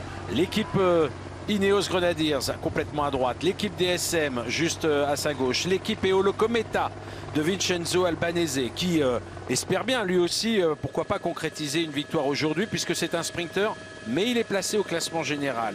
L'équipe, on a vu également euh, bien sûr l'équipe Jumbo Visma qui était elle aussi bien placée ainsi que la formation Ineos. C'est une région qui est magnifique, mais malheureusement, il ne fait pas très beau aujourd'hui pour pouvoir en apprécier à sa juste valeur tous les, paysages. C'était le cas hier, euh, à l'issue de la, euh, troisième étape, à Primosten, où on avait vu euh, toute la beauté euh, de ce, de ce pays. Oui, on se rapproche vraiment très vite hein, maintenant des échappés. Ouais, non, mais là on le voit, hein, maintenant ça roule, euh, ça roule quasiment. Bah oui, là on est à une intensité euh, maximale hein, pour euh, tous les équipiers là qui sont en train de rouler devant. Clairement, personne ne veut se retrouver enfermé, personne ne veut se retrouver au milieu là de ce peloton. Les BNB Hotel KTM ne sont, cependant sont pas en sont pas en première ligne hein, pour l'instant. Il manque à l'appel en effet, ouais. C'est c'est pratiquement la première fois euh, qu'on les note en, retrait. Alors sur cette vue aérienne, on va peut-être mieux les apercevoir. Non, pas vraiment. Non, ils sont vraiment en retrait là pour l'instant. On a Victor Koretsky qui est là, là, pas très loin, euh, derrière le maillot vert, le numéro 76. Mais c'est vrai qu'on est un peu, un dispersé. Après, pour l'instant, euh, en fait, là, ça devient nerveux parce qu'il pleut. Mais sinon, on est sur une route large. Il n'y a pas, hormis la pluie et le stress que le peloton s'impose, il n'y a pas de grand danger pour l'instant. Mais bon, c'est vrai qu'il ne faut pas non plus traîner. Va falloir essayer, tenter hein, vite de faire l'effort pour euh, venir se replacer au moins à l'amorce euh, du circuit final qui va intervenir là d'ici euh, d'ici 3-4 km. On sera sur le circuit final et on l'a dit, le passage ligne est à 10 km de l'arrivée.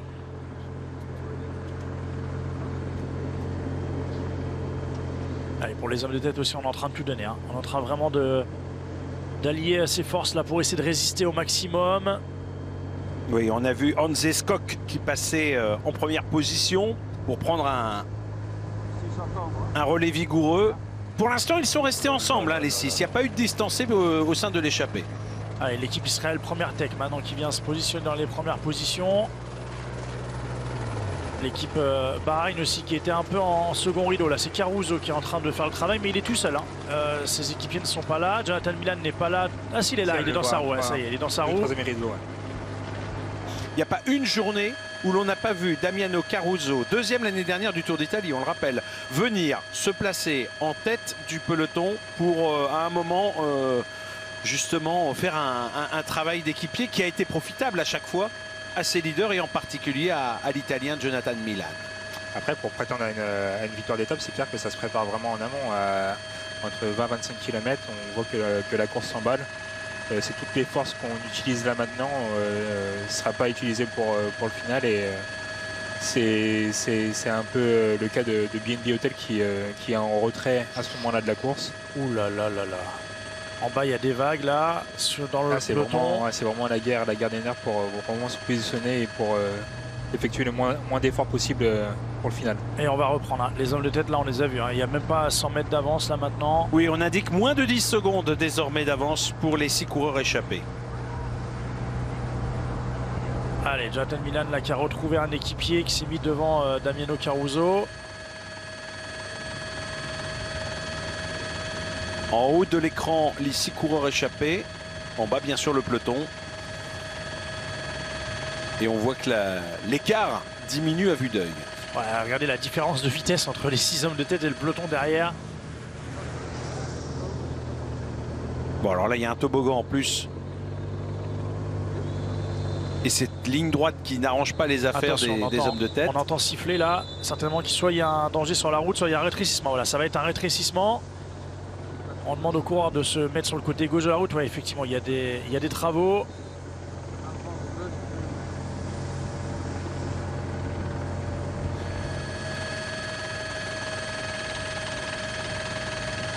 L'équipe Uno X hein, qui fait un beau travail hein, depuis tout à l'heure. Elle est venue, c'est la seule hein, à être venue euh, concurrencer l'équipe Ineos et l'équipe Bahreïn en tête de peloton. Et pour l'instant, elle résiste plutôt bien. Anzesco qui veut pas être repris. Non, non, mais c'est trop tard. C'est fini, ça y est. L'échappée est reprise maintenant par, euh, par le peloton.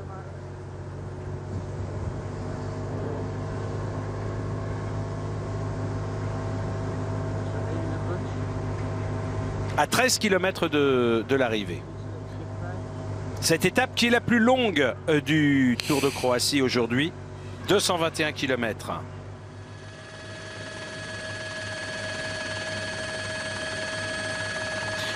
Pas grand monde à la plage. hein. Il n'y a même personne. Eh oui. Allez, on est en ville. Il faut rappeler que jadis, enfin naguère plutôt, le Tour de Croatie était disputé au mois de mai en préparation au Giro. C'était la dernière course avant le, le Giro, c'était fin avril même peut-être. Et que le- les dates ont changé depuis euh, 2019. Bon, il n'y a pas eu de course en 2020 Allez, en raison de la pandémie. Et désormais, cette course est disputée au mois d'octobre. Au mois de. Enfin, à cheval, à la charnière entre le- la fin de- du mois de septembre et- et le début du mois d'octobre. allez, on doit y être là. Je pense que là, on est sur le circuit. Je crois qu'on doit être à un peu plus de 2 km de l'arrivée là. Je pense que les coureurs feront demi-tour là-bas au prochain tour. Donc là, maintenant, on est en ville. hein. Donc maintenant, le, bien entendu, on l'a bien compris que le placement était important. On effectue la même stratégie euh, du côté de chez Bahrain Victorious. On protège vraiment Milan, qui est toujours euh, bien positionné à l'amorce du circuit final. Si c'est pas Caruso, c'est euh, qui, qui le protège. Et on est, il est vraiment, vraiment très dans, dans les toutes premières positions. Alors qu'on est encore à 12 km Ouais, de l'arrivée. attention là, il y a Voilà, un premier virage à droite. Voilà, là, avec des. avec les bandes blanches. Ça passe. Et la relance, évidemment, comme euh, Ah bah là- on ralentit de façon un peu excessive pour ne pas tomber, pour éviter tout risque de chute, la relance n'en est que plus difficile derrière. Le hein, ça s'est bien étiré là. Maintenant, là, les coureurs qui sont au-delà de la 40e, 50e position, ils ne reverront plus hein, la tête de la course. On a Victor Koretsky là pour l'équipe BNB Hotel sur la gauche de l'écran là, qui, a- qui est bien placé là dans les 15 premiers. Koretsky qui fait sûrement Voilà. l'équipier pour, euh, pour Axel Laurence.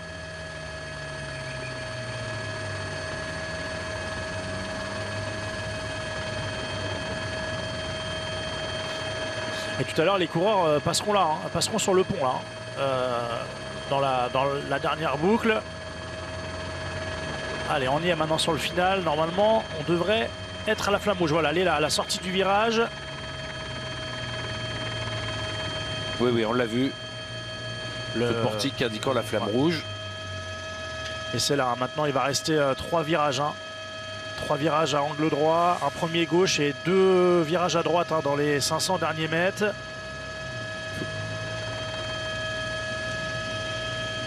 Et regardez comme la chaussée est trempée. on leur fait signe, ouais, attention à ce signe, virage attention. sur la gauche. Oh là là là là là là. Ça passe. Allez, le premier virage à gauche. L'année dernière, même Spartan sec, hein, il y avait une chute, avait une euh, chute dans ici, ce oui. virage. Oui. Avec Thomas qui est parti tout seul. Ah, il a pris le virage non, il a- beaucoup plus il- vite que... Non mais il attend. hein. C'est clairement pas pour lui. Bien entendu, il est très très loin au classement général. Bah, Guérin Thomas, lui, préfère être devant. hein, parce que... Et puis des chutes bah dans sa bah. carrière, il en a eu quelques-unes. Non, mais là, il faut, il, faut, ouais, il faut absolument faire le forcing pour être devant. Sinon, après, derrière, c'est vraiment une grosse prise de risque. On a pu apercevoir Jonathan Vigard qui est aux alentours de la 15e Alors, regardez, place. 250 mètres. Dans les, à 200 mètres de la rivière, il y a un, un virage. Donc, c'est encore un peu plus proche que ce que je pensais. hein. Maintenant, on va aller chercher. Et non, et, fait- bah non la ligne droite, la dernière ligne droite, elle n'est pas, en, elle est pas en ligne droite. Donc c'est ça votre ligne droite? Non, bah écoutez, moi, j'ai moi, j'ai juste ouais. un plan devant mes yeux. hein, c'est tout ce que j'ai. hein. Axel Laurence, derrière euh, Cyril Gauthier, On est dans une ligne droite. Vingegaard qui vient seulement de passer. hein. Il doit être en 40e position. Il est un petit peu loin. 40e. Et là, on va se retrouver sur la route euh, de où tout à l'heure on a on a repris les images de l'année dernière hein, sur la route en- au bord de mer avec euh, on se rappelle hein, sur le côté euh, Ces plombs en béton. il y avait pas mal ouais, des plans en béton, la route euh, très étroite. Guérin Thomas toujours en première position. Alors il se retournait beaucoup parce que ses équipiers ou son leader euh, de circonstance, Brandon Rivera, n'est pas euh, on- aussi bien placé. hein. Il est assez loin derrière. Et on a euh, l'équipe BNB Hotel avec Cyril Gauthier, Axel Laurence, Victor Koretsky hein, qui sont très bien placés là. Ils sont dans, le- dans les 10 premiers. Gros travail encore une fois hein, de Cyril Gauthier, comme, euh, bah, comme ce qu'on a eu depuis le départ de ce Tour de Croatie, et surtout euh, sur l'étape d'hier. Et vous avez remarqué quand même l'enfilade de ces virages. euh, Le peloton a été. Ah, Regardez, il y a même limite des cassures en bas là, Eh oui. en- autour de la 30e position.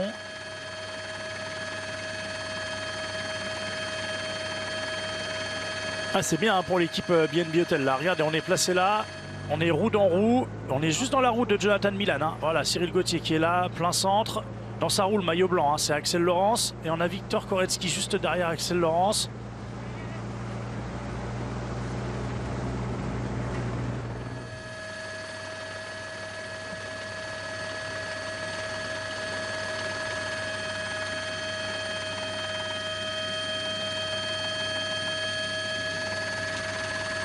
Et maintenant, on va aller chercher cette côte.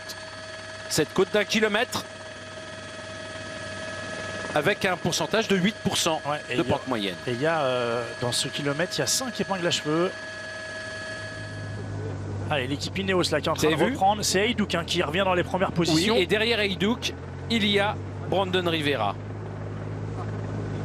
Donc tout va bien pour l'équipe Ineos. hein. Oh là là, comme c'est chaud là.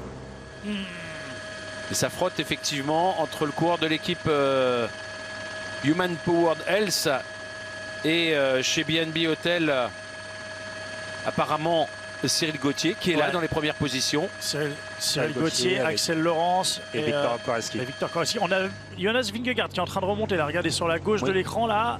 Maillot bleu, il est dans, dans la roue d'un de ses coéquipiers.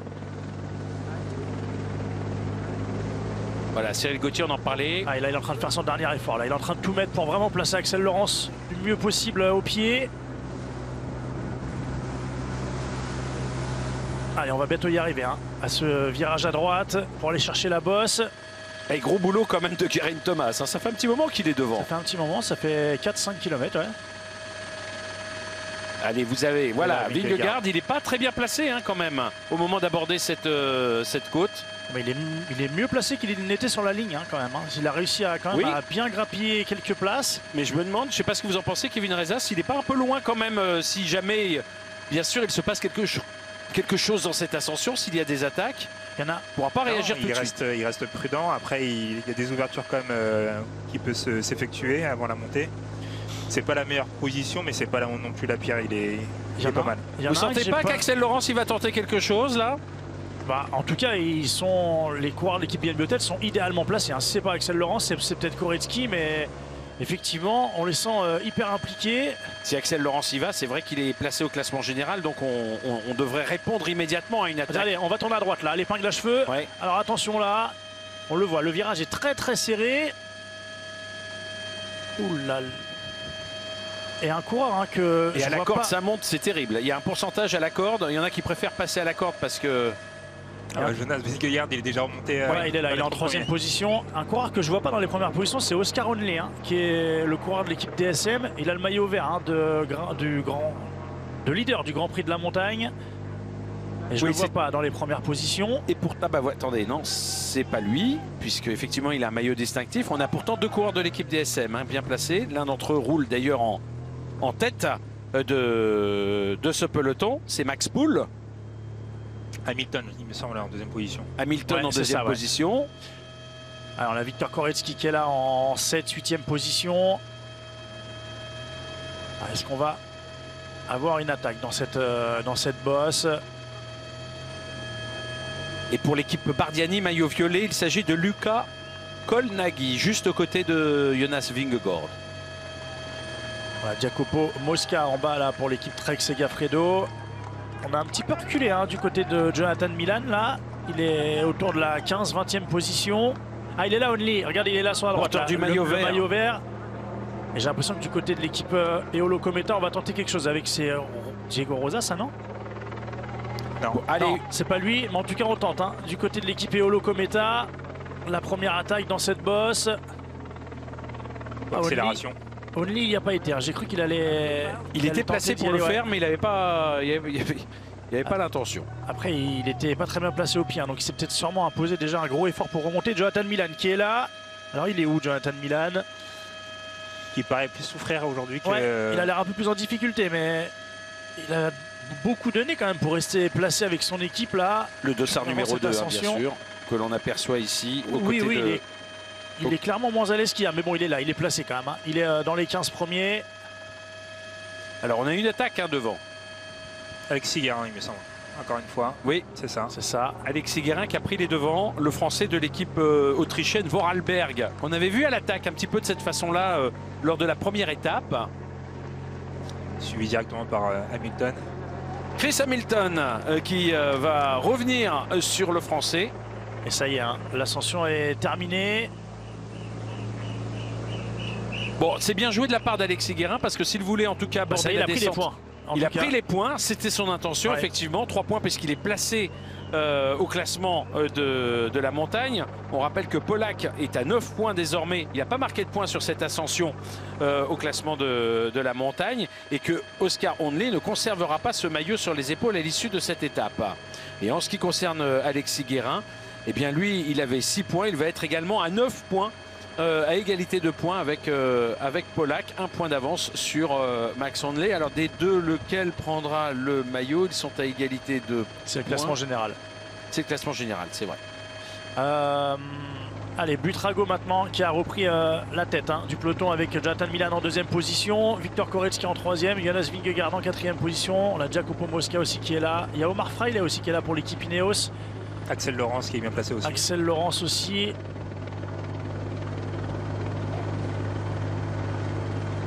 Alors, tout à l'heure, on disait qu'il n'était pas très bien, euh, le leader de la course. Bah écoutez, ça va. En tout cas, il est là. Bon, je suis pas sûr que Bernsteiner, ça soit le meilleur. euh, C'est pas personne, c'est Butrago là qui roule. Oui, Personne- Buitrago. Steiner, il est à droite là, il est en train de remonter sur le côté droit de l'écran. Bah, voilà, il est là, il est sur la gauche, il va venir dans les premières positions. Donc voilà, on va retrouver des équipiers pour emmener Jonathan Milan. On est passé à 5 km de l'arrivée.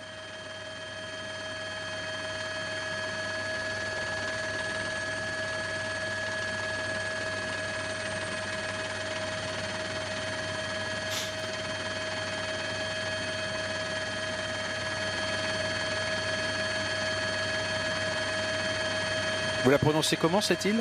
Kruk, Kruk. Ah oui, Kruk. J'aime beaucoup votre. on n'avait pas préparé ça. C'est des images d'aujourd'hui, ça? Je suis pas sûr, hein, parce que là, il a l'air de faire beau, en tout cas, sur le pont creux là.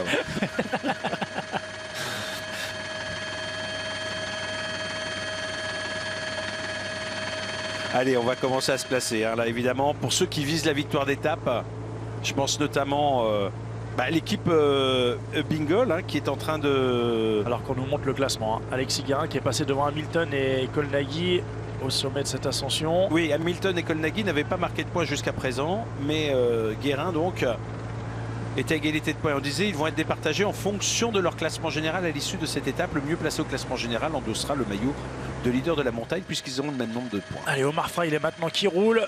C'est pas pour lui hein, aujourd'hui. Je pense que c'est pour Haïdouk. hein. On va essayer de faire l'arrivée avec Haïdouk aujourd'hui pour l'équipe Ineos.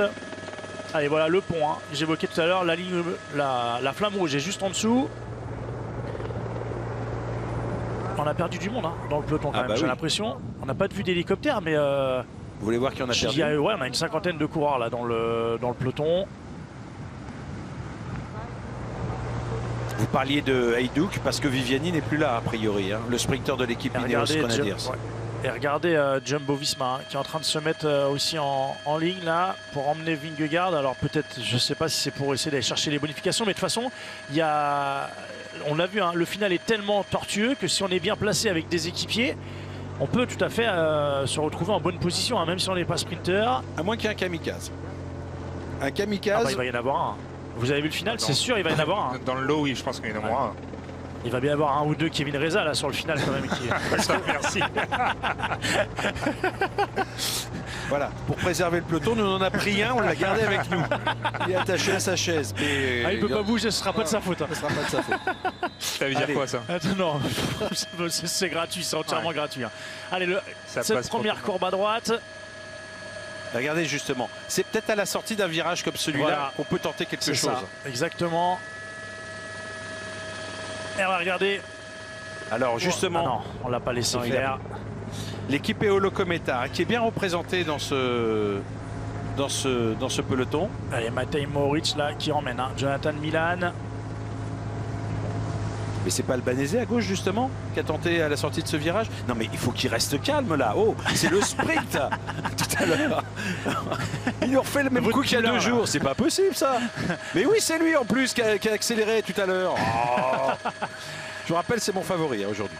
On a, on. Axel Laurence hein, qui est toujours là aussi. hein. Le maillot blanc là en 10-12e position. Attention, attention ce virage à droite. Ah ouais, ouais, c'est encore plus serré que le précédent. Avec Non mais ça passe.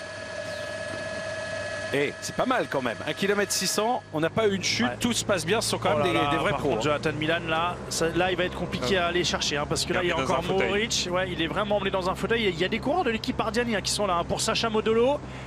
Sacha Modolo qui est là en quatrième position. Bah, il est dans la roue de Jonathan Milan. Et qui avait fait, rappelons-le, troisième de la première étape. Remporté par euh, Jonathan Milan. Oui, À chaque virage, ça fait des cassures. hein. Ah ouais, ouais, c'est impressionnant. hein. regardez la difficulté pour euh, combler à chaque fois ces, ces cassures. Le coureur de l'équipe Trek, là, il me semble que c'est Bruce Tenga. Je crois que c'était le 53. Si vous le dites. Il me semble avoir vu 53. hein. Ah, Je sais pas, je l'ai reconnu. Allez, le virage à gauche, la flamme rouge. Maintenant, il va rester un gauche et deux droites hein, pour aller chercher la dernière ligne droite qui fait moins de 200 mètres. Et là, regardez, hein, ce ne sont que des clients pour la victoire d'étape. Ouais, c'est ça. hein, c'est le 53, le coureur de l'équipe Trek. Juste dans sa roue, c'est Sacha Modolo hein, qui est là en cinquième position. Allez, Mohoric toujours en tête et Jonathan Milan toujours Oh en là troisième là là, position. Ouais. Il a Ce virage, il glisse. Attention, c'est parti. Ça a glissé. Oh là là. Milan, il a failli tomber, il n'est pas tombé. Modolo Modolo non plus, il n'est pas tombé. Non, non, Modolo, il est là. hein. Il est Il a en été gêné 7 par la 8 chute position, mais il a été gêné. C'est qui est en troisième position. Et il a perdu son leader. Regardez, euh, Milan est en train d'essayer de remonter. Et Et, a- du coup, Mohoric coupe son effort. Non, il coupe son effort d'abord parce qu'il y a un virage. J'ai regardé, c'est Axel Laurence qui est là en troisième position. Axel Laurence qui, est- qui, qui s'est replacé parfaitement bien. Alors, on a donc euh, Mohoric toujours en première position. C'est qui le. C'est Idouk qui est en deuxième position? Non, non, non, c'est pas, c'est pas Idouk. Et on va voir le sprint maintenant. Je pense Les que 100 c'est Brandon. Rivera entre- qui est là. Attention, hein, il est là. Allez, Axel Laurence. Axel Laurence Axel Laurence qui lance le sprint à la lutte avec Maurice, juste derrière lui Jonathan Milan. Jonathan Milan qui porte maintenant son effort. Axel. Oh, Axel Laurence qui remporte cette étape ou pas alors Attention, on va être prudent, il a levé les bras mais il y avait Milan qui remontait euh, juste à Ah côté. non, il va pas nous faire le coup il y a deux jours. quand même. bah, attendez, Non, pas non, ça, non, là c'est bon là.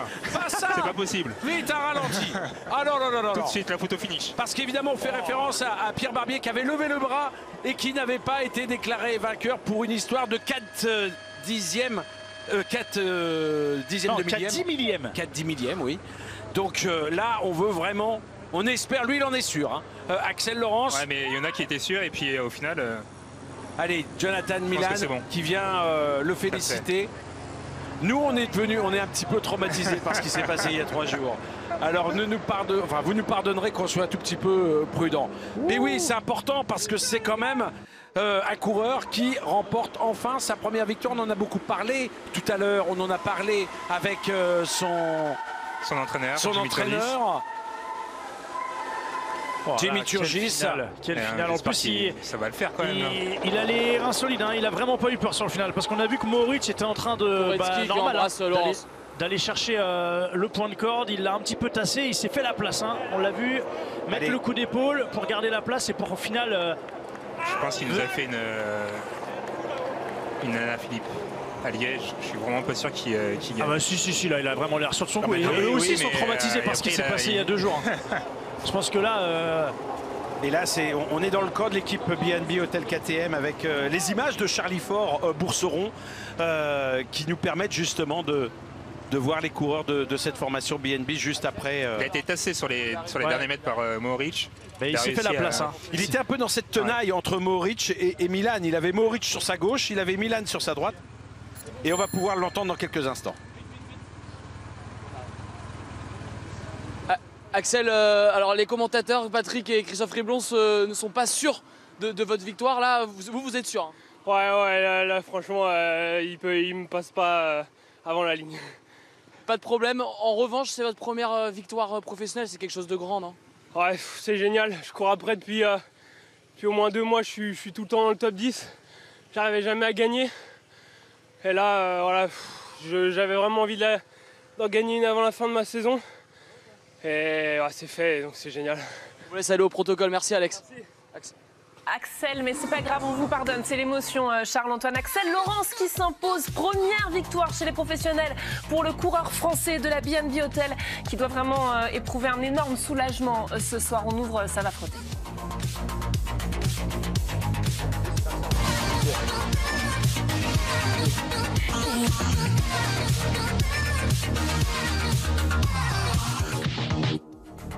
Allez, la victoire de euh, Axel Laurence, maillot blanc sur les épaules que vous apercevez. Il vient de battre Jonathan Milan au terme d'un sprint euh, compliqué. On va bien sûr décrypter tout ça. Belle victoire hein, du Français euh, en tout cas.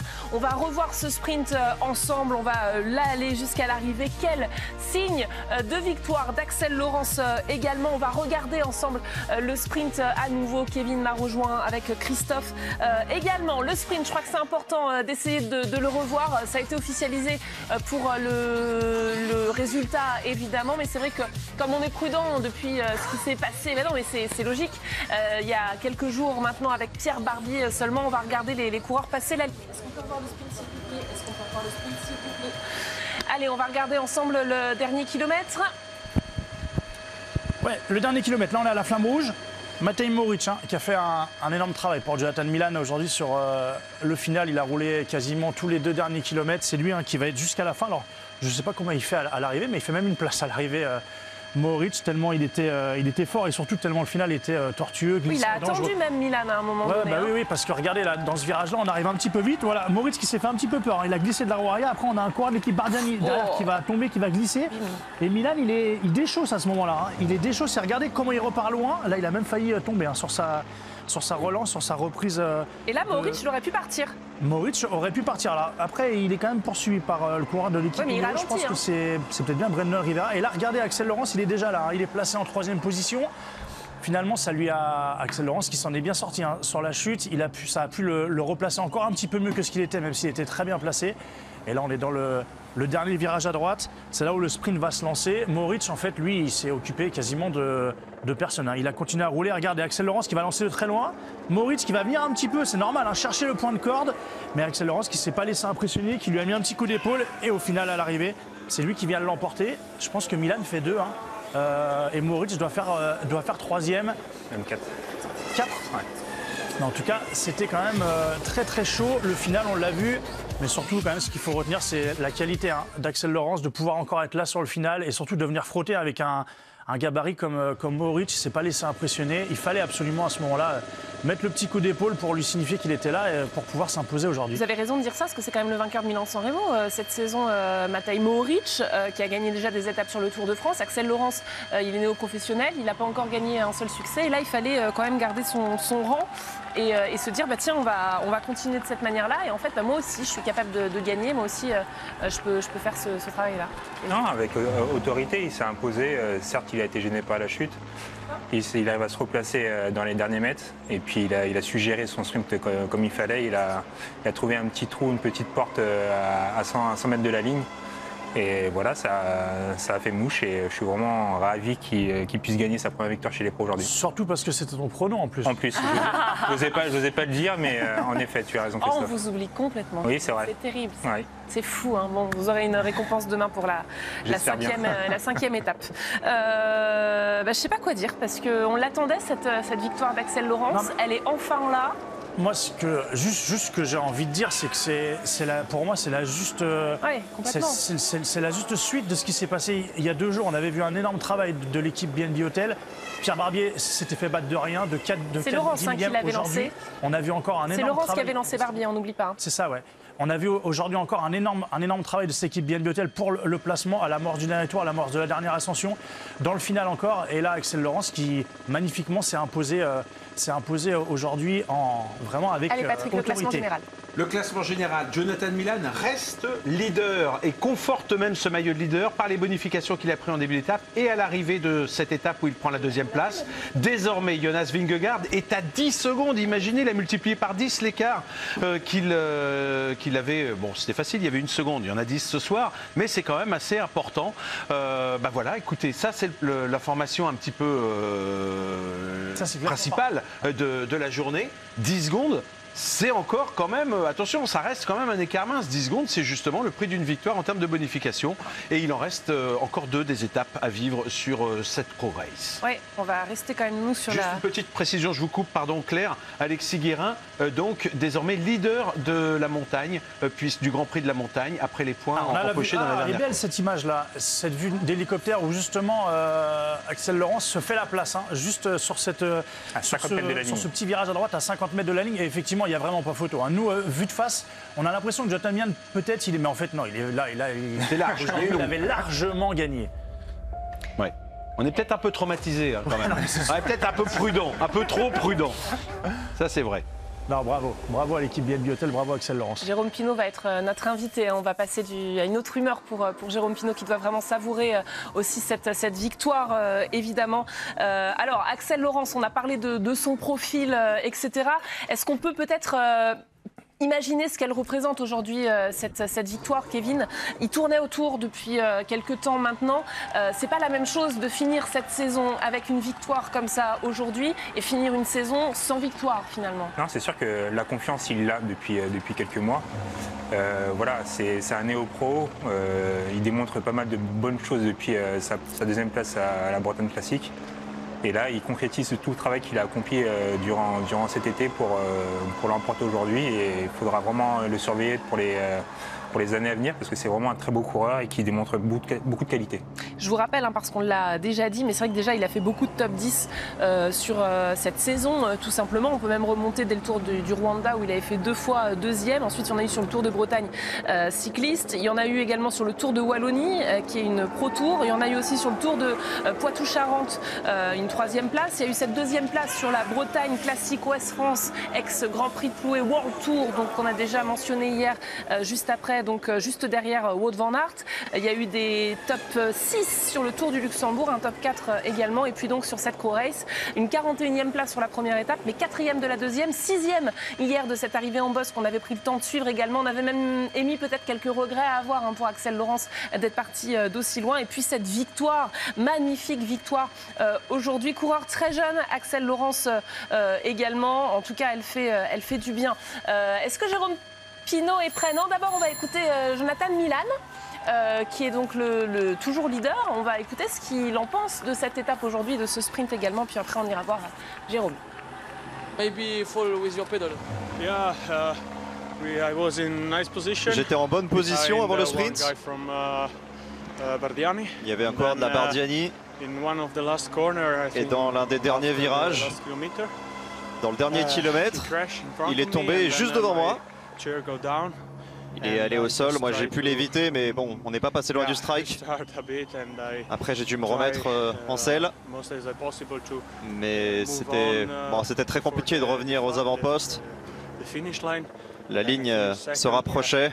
Bon bah j'ai fait deuxième. Uh. Bien sûr, au vu du final, c'est pas si mal que ça, Mais j'ai fait de mon mieux, ça c'est sûr. You cannot always win. Last time Vous ne pouvez pas tout le temps uh, gagner non really plus. Close from uh, La dernière fois, vous avez uh, gagné d'un cheveu, Laurence aujourd'hui, euh, uh, Axel. Laurence vous a He devancé. did, I think, amazing, uh, amazing sprint. Ouais, il a vraiment fait un super Yeah. sprint. Uh, won the, the best. So Ah, C'était le meilleur, donc Yeah. bravo à lui pour ça.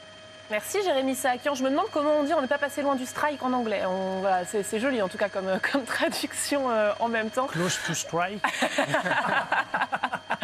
Euh, c'est important ce qu'il dit euh, Jonathan Milan aussi. C'est vrai que cette chute, ça, ça désorganise complètement euh, un sprint. Est-ce que ça l'a sorti euh, de ce sprint également, la chute Ça- du ah Bardiani bah, non, mais clairement, ça l'a. En tout cas, ça l'a enlevé de sa très bonne position où il était. Il, il y avait Maurits qui emmenait très bien. Il y avait un coureur de l'équipe Ardeni, je ne sais pas qui c'est, il était en troisième position. Et malheureusement, il repart en 7-8e position. Vous entendez, hein, dring, dring, dring, dring, dring, dring, parce que Jérôme Pinault euh, est là. Bonjour Jérôme. On est ravis de, de vous avoir avec nous. Merci d'être euh, d'être là encore. Bien sûr, le sourire, Jérôme Pinault, elle est là, la victoire. Ouais, elle est là, elle est là. Contrairement à, à il y a deux jours, elle est là cette fois. Et j'a- j'avoue que vous m'avez fait un peu peur quand euh, on a annoncé ça très vite aussi. Et j'avais pas vu la. la- la- J'ai attendu la photo cette fois. J'ai suivi les, les explications de, Patrick et, j'ai bien suivi la, photo. Mais bon, cette fois, il, a gagné et c'est une très très belle victoire pour, l'équipe. Euh, une très très belle victoire pour Axel qui, ne fait que confirmer qu'il est un, talent euh, montant du cyclisme français et on est, on est très heureux de l'avoir avec nous parce que on va pouvoir compter sur lui, sur l'avenir et, et il le mérite parce qu'il est en train de faire une sacrée saison ce petit bonhomme. Vous la voyez, la photo finish, là, Jérôme? Je l'ai vu, je l'ai vu, c'est bon. elle, elle est là, hein, on la voit. Nous, on l'a en direct euh, sur l'antenne. regardé ça de, de. Là, il y a quasiment une, Non, roue, mais une bonne C'est demi-roue. très bien. C'est une très bonne chose pour l'équipe aussi parce que la déception a été très grande l'autre fois. Ils ont très très bien réagi. Ils ne se sont pas laissés, euh, laissés abattre. Ils se sont euh, tout de suite remis, euh, remis en route. On a une grosse pensée pour Alan Boileau hein, qui est- s'est cassé la clavicule en début d'étape. Et pour autant, l'équipe a, a- a encore fabuleux aujourd'hui.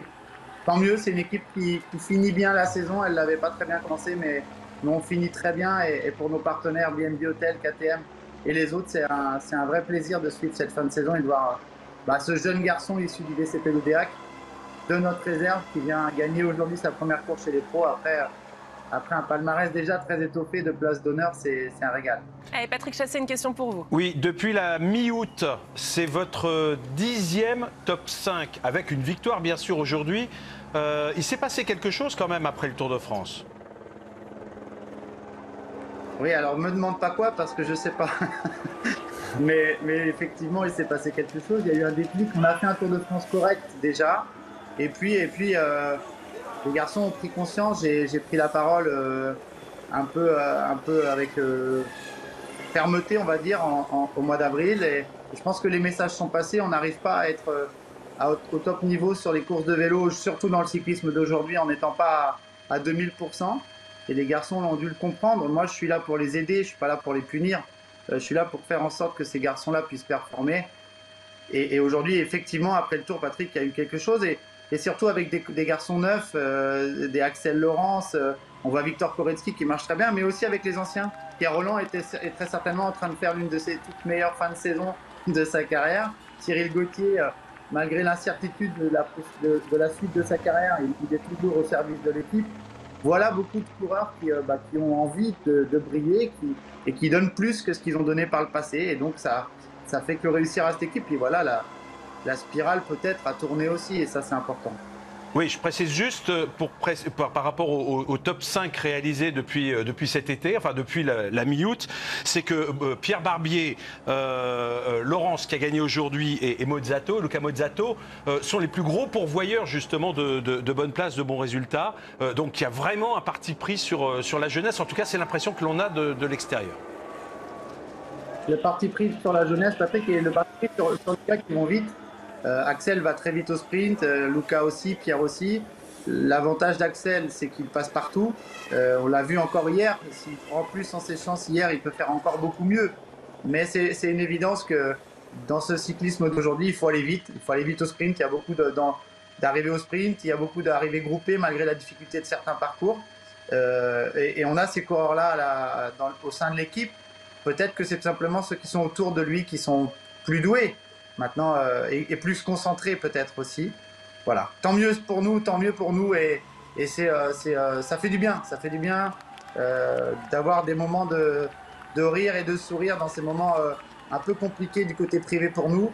Euh, ça fait, ça fait un, éno- un énorme plaisir de voir Axel gagner. On va dédier cette victoire à mon père.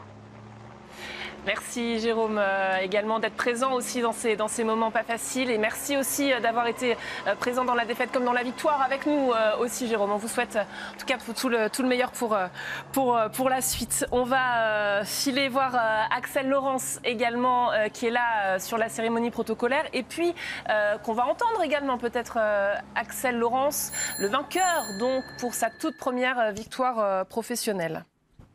D'abord Victor Koretsky me dit-on. Ouais, Victor, un, mot sur cette euh, magnifique victoire et puis sur ce formidable travail de la BNB Hotel KTM pour euh, Axel aujourd'hui. Ouais, bah c'était c'était le plan euh, initial.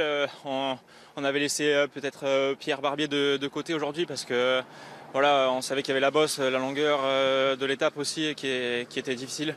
Donc on avait les deux cartes. Pierre était un peu moins bien, donc on a tout misé sur Axel. Et on, était vraiment bien placé au passage sur la ligne le premier tour. Et, euh, et puis après, il y avait euh, Cyril Gauthier et, moi euh, qui avons entouré Axel. J'ai essayé de le replacer au mieux jusqu'à l'entrée, enfin, dans, les dans, les derniers virages. Ça glissait beaucoup, il y a eu beaucoup de chutes. Et non, je suis vraiment content pour, pour, pour Axel, cette victoire, il la mérite. Il a fait des beaux résultats depuis un bon moment maintenant. Et, euh, et ouais, je suis, je suis vraiment content pour lui et c'est top pour l'équipe. Qu'est-ce qu'elle est importante justement cette victoire pour vous, BNB Hotel KTM hein, Cette année, ça, ça fait du bien aussi en fin de saison, surtout après ce qui s'est passé pour Pierre il y a quelques jours. Ouais, non, c'est clair. euh, bon, je reste quand même déçu pour, euh, pour Pierre parce qu'il a mérité aussi. Mais ouais, c'est vrai que ça sourit enfin et, et ça montre que voilà, on avait déjà un beau collectif il y a deux jours euh, pour l'étape au sprint. Euh, Hier, on est encore bien placé et aujourd'hui, ça, ça sourit donc euh, c'est top. Puis ça montre les talents d'Axel aussi qui est vraiment habile sur le vélo donc c'est top. Allez, on attend l'image hein, d'Axel Laurence qui va monter sur, euh, sur ce podium. On va accueillir euh, Karine Galli, puisque c'est l'équipe de Greg-Karine ce soir. Voilà, je vous l'attribue, Karine. Très gentil. Bonjour à tous. Bonjour, bonsoir. Alors pour l'instant, on est encore avec Axel Laurence, mais vous allez nous donner, nous donner le programme et puis on, on va voir le, certainement le podium en image à la fin. Un programme de folie évidemment avec Neymar, une troisième saison au PSG. Ça vous tente ou pas? Bah oui. Euh, merci pour cet engouement, en tout on va en parler. Le PSG a priori qui voudrait le prolonger d'une saison. On va parler aussi de Marseille puisque ce soir Marseille joue à Angers. Ils ont un marathon de matchs, 11 matchs en 44 jours et puis comme chaque vendredi, il y a les paris des week-ends, le pari de nos chroniqueurs, pardon, avec des très beaux paris. On va parler de Lens, de Fofana, de Lyon, de Peter Bosch, un programme de rêve et peut-être donc de Lionel Messi au PSG pour une troisième saison. Je sens que ça emballe tout le monde sur le plateau. Moi, je vous dis, on a un super euh, garçon qui fait des super paris parce qu'il a trouvé le vainqueur du jour. quand même. Ah ben magnifique. Et en foot, ça va donner quoi? Marseille, vainqueur. Ce soir, arrangé. Magnifique, c'est noté. On verra ça ce soir. Eh ben, on vous laisse pour l'équipe de Drex Eh ben, on le garde. Allez. Ben voilà. Kevin Reza, vous vous avez un nouveau job euh, désormais. Victoire d'Axel Laurence, on va le laisser ouvrir le champagne. Hein Axel Laurence pour sa vie, première ah victoire hein. chez les professionnels. Merci Karine, nous on se retrouve à 13h demain euh, pour la cinquième étape de ce Tour de Croatie, étape Rennes. Attention, bravo Axel Laurence.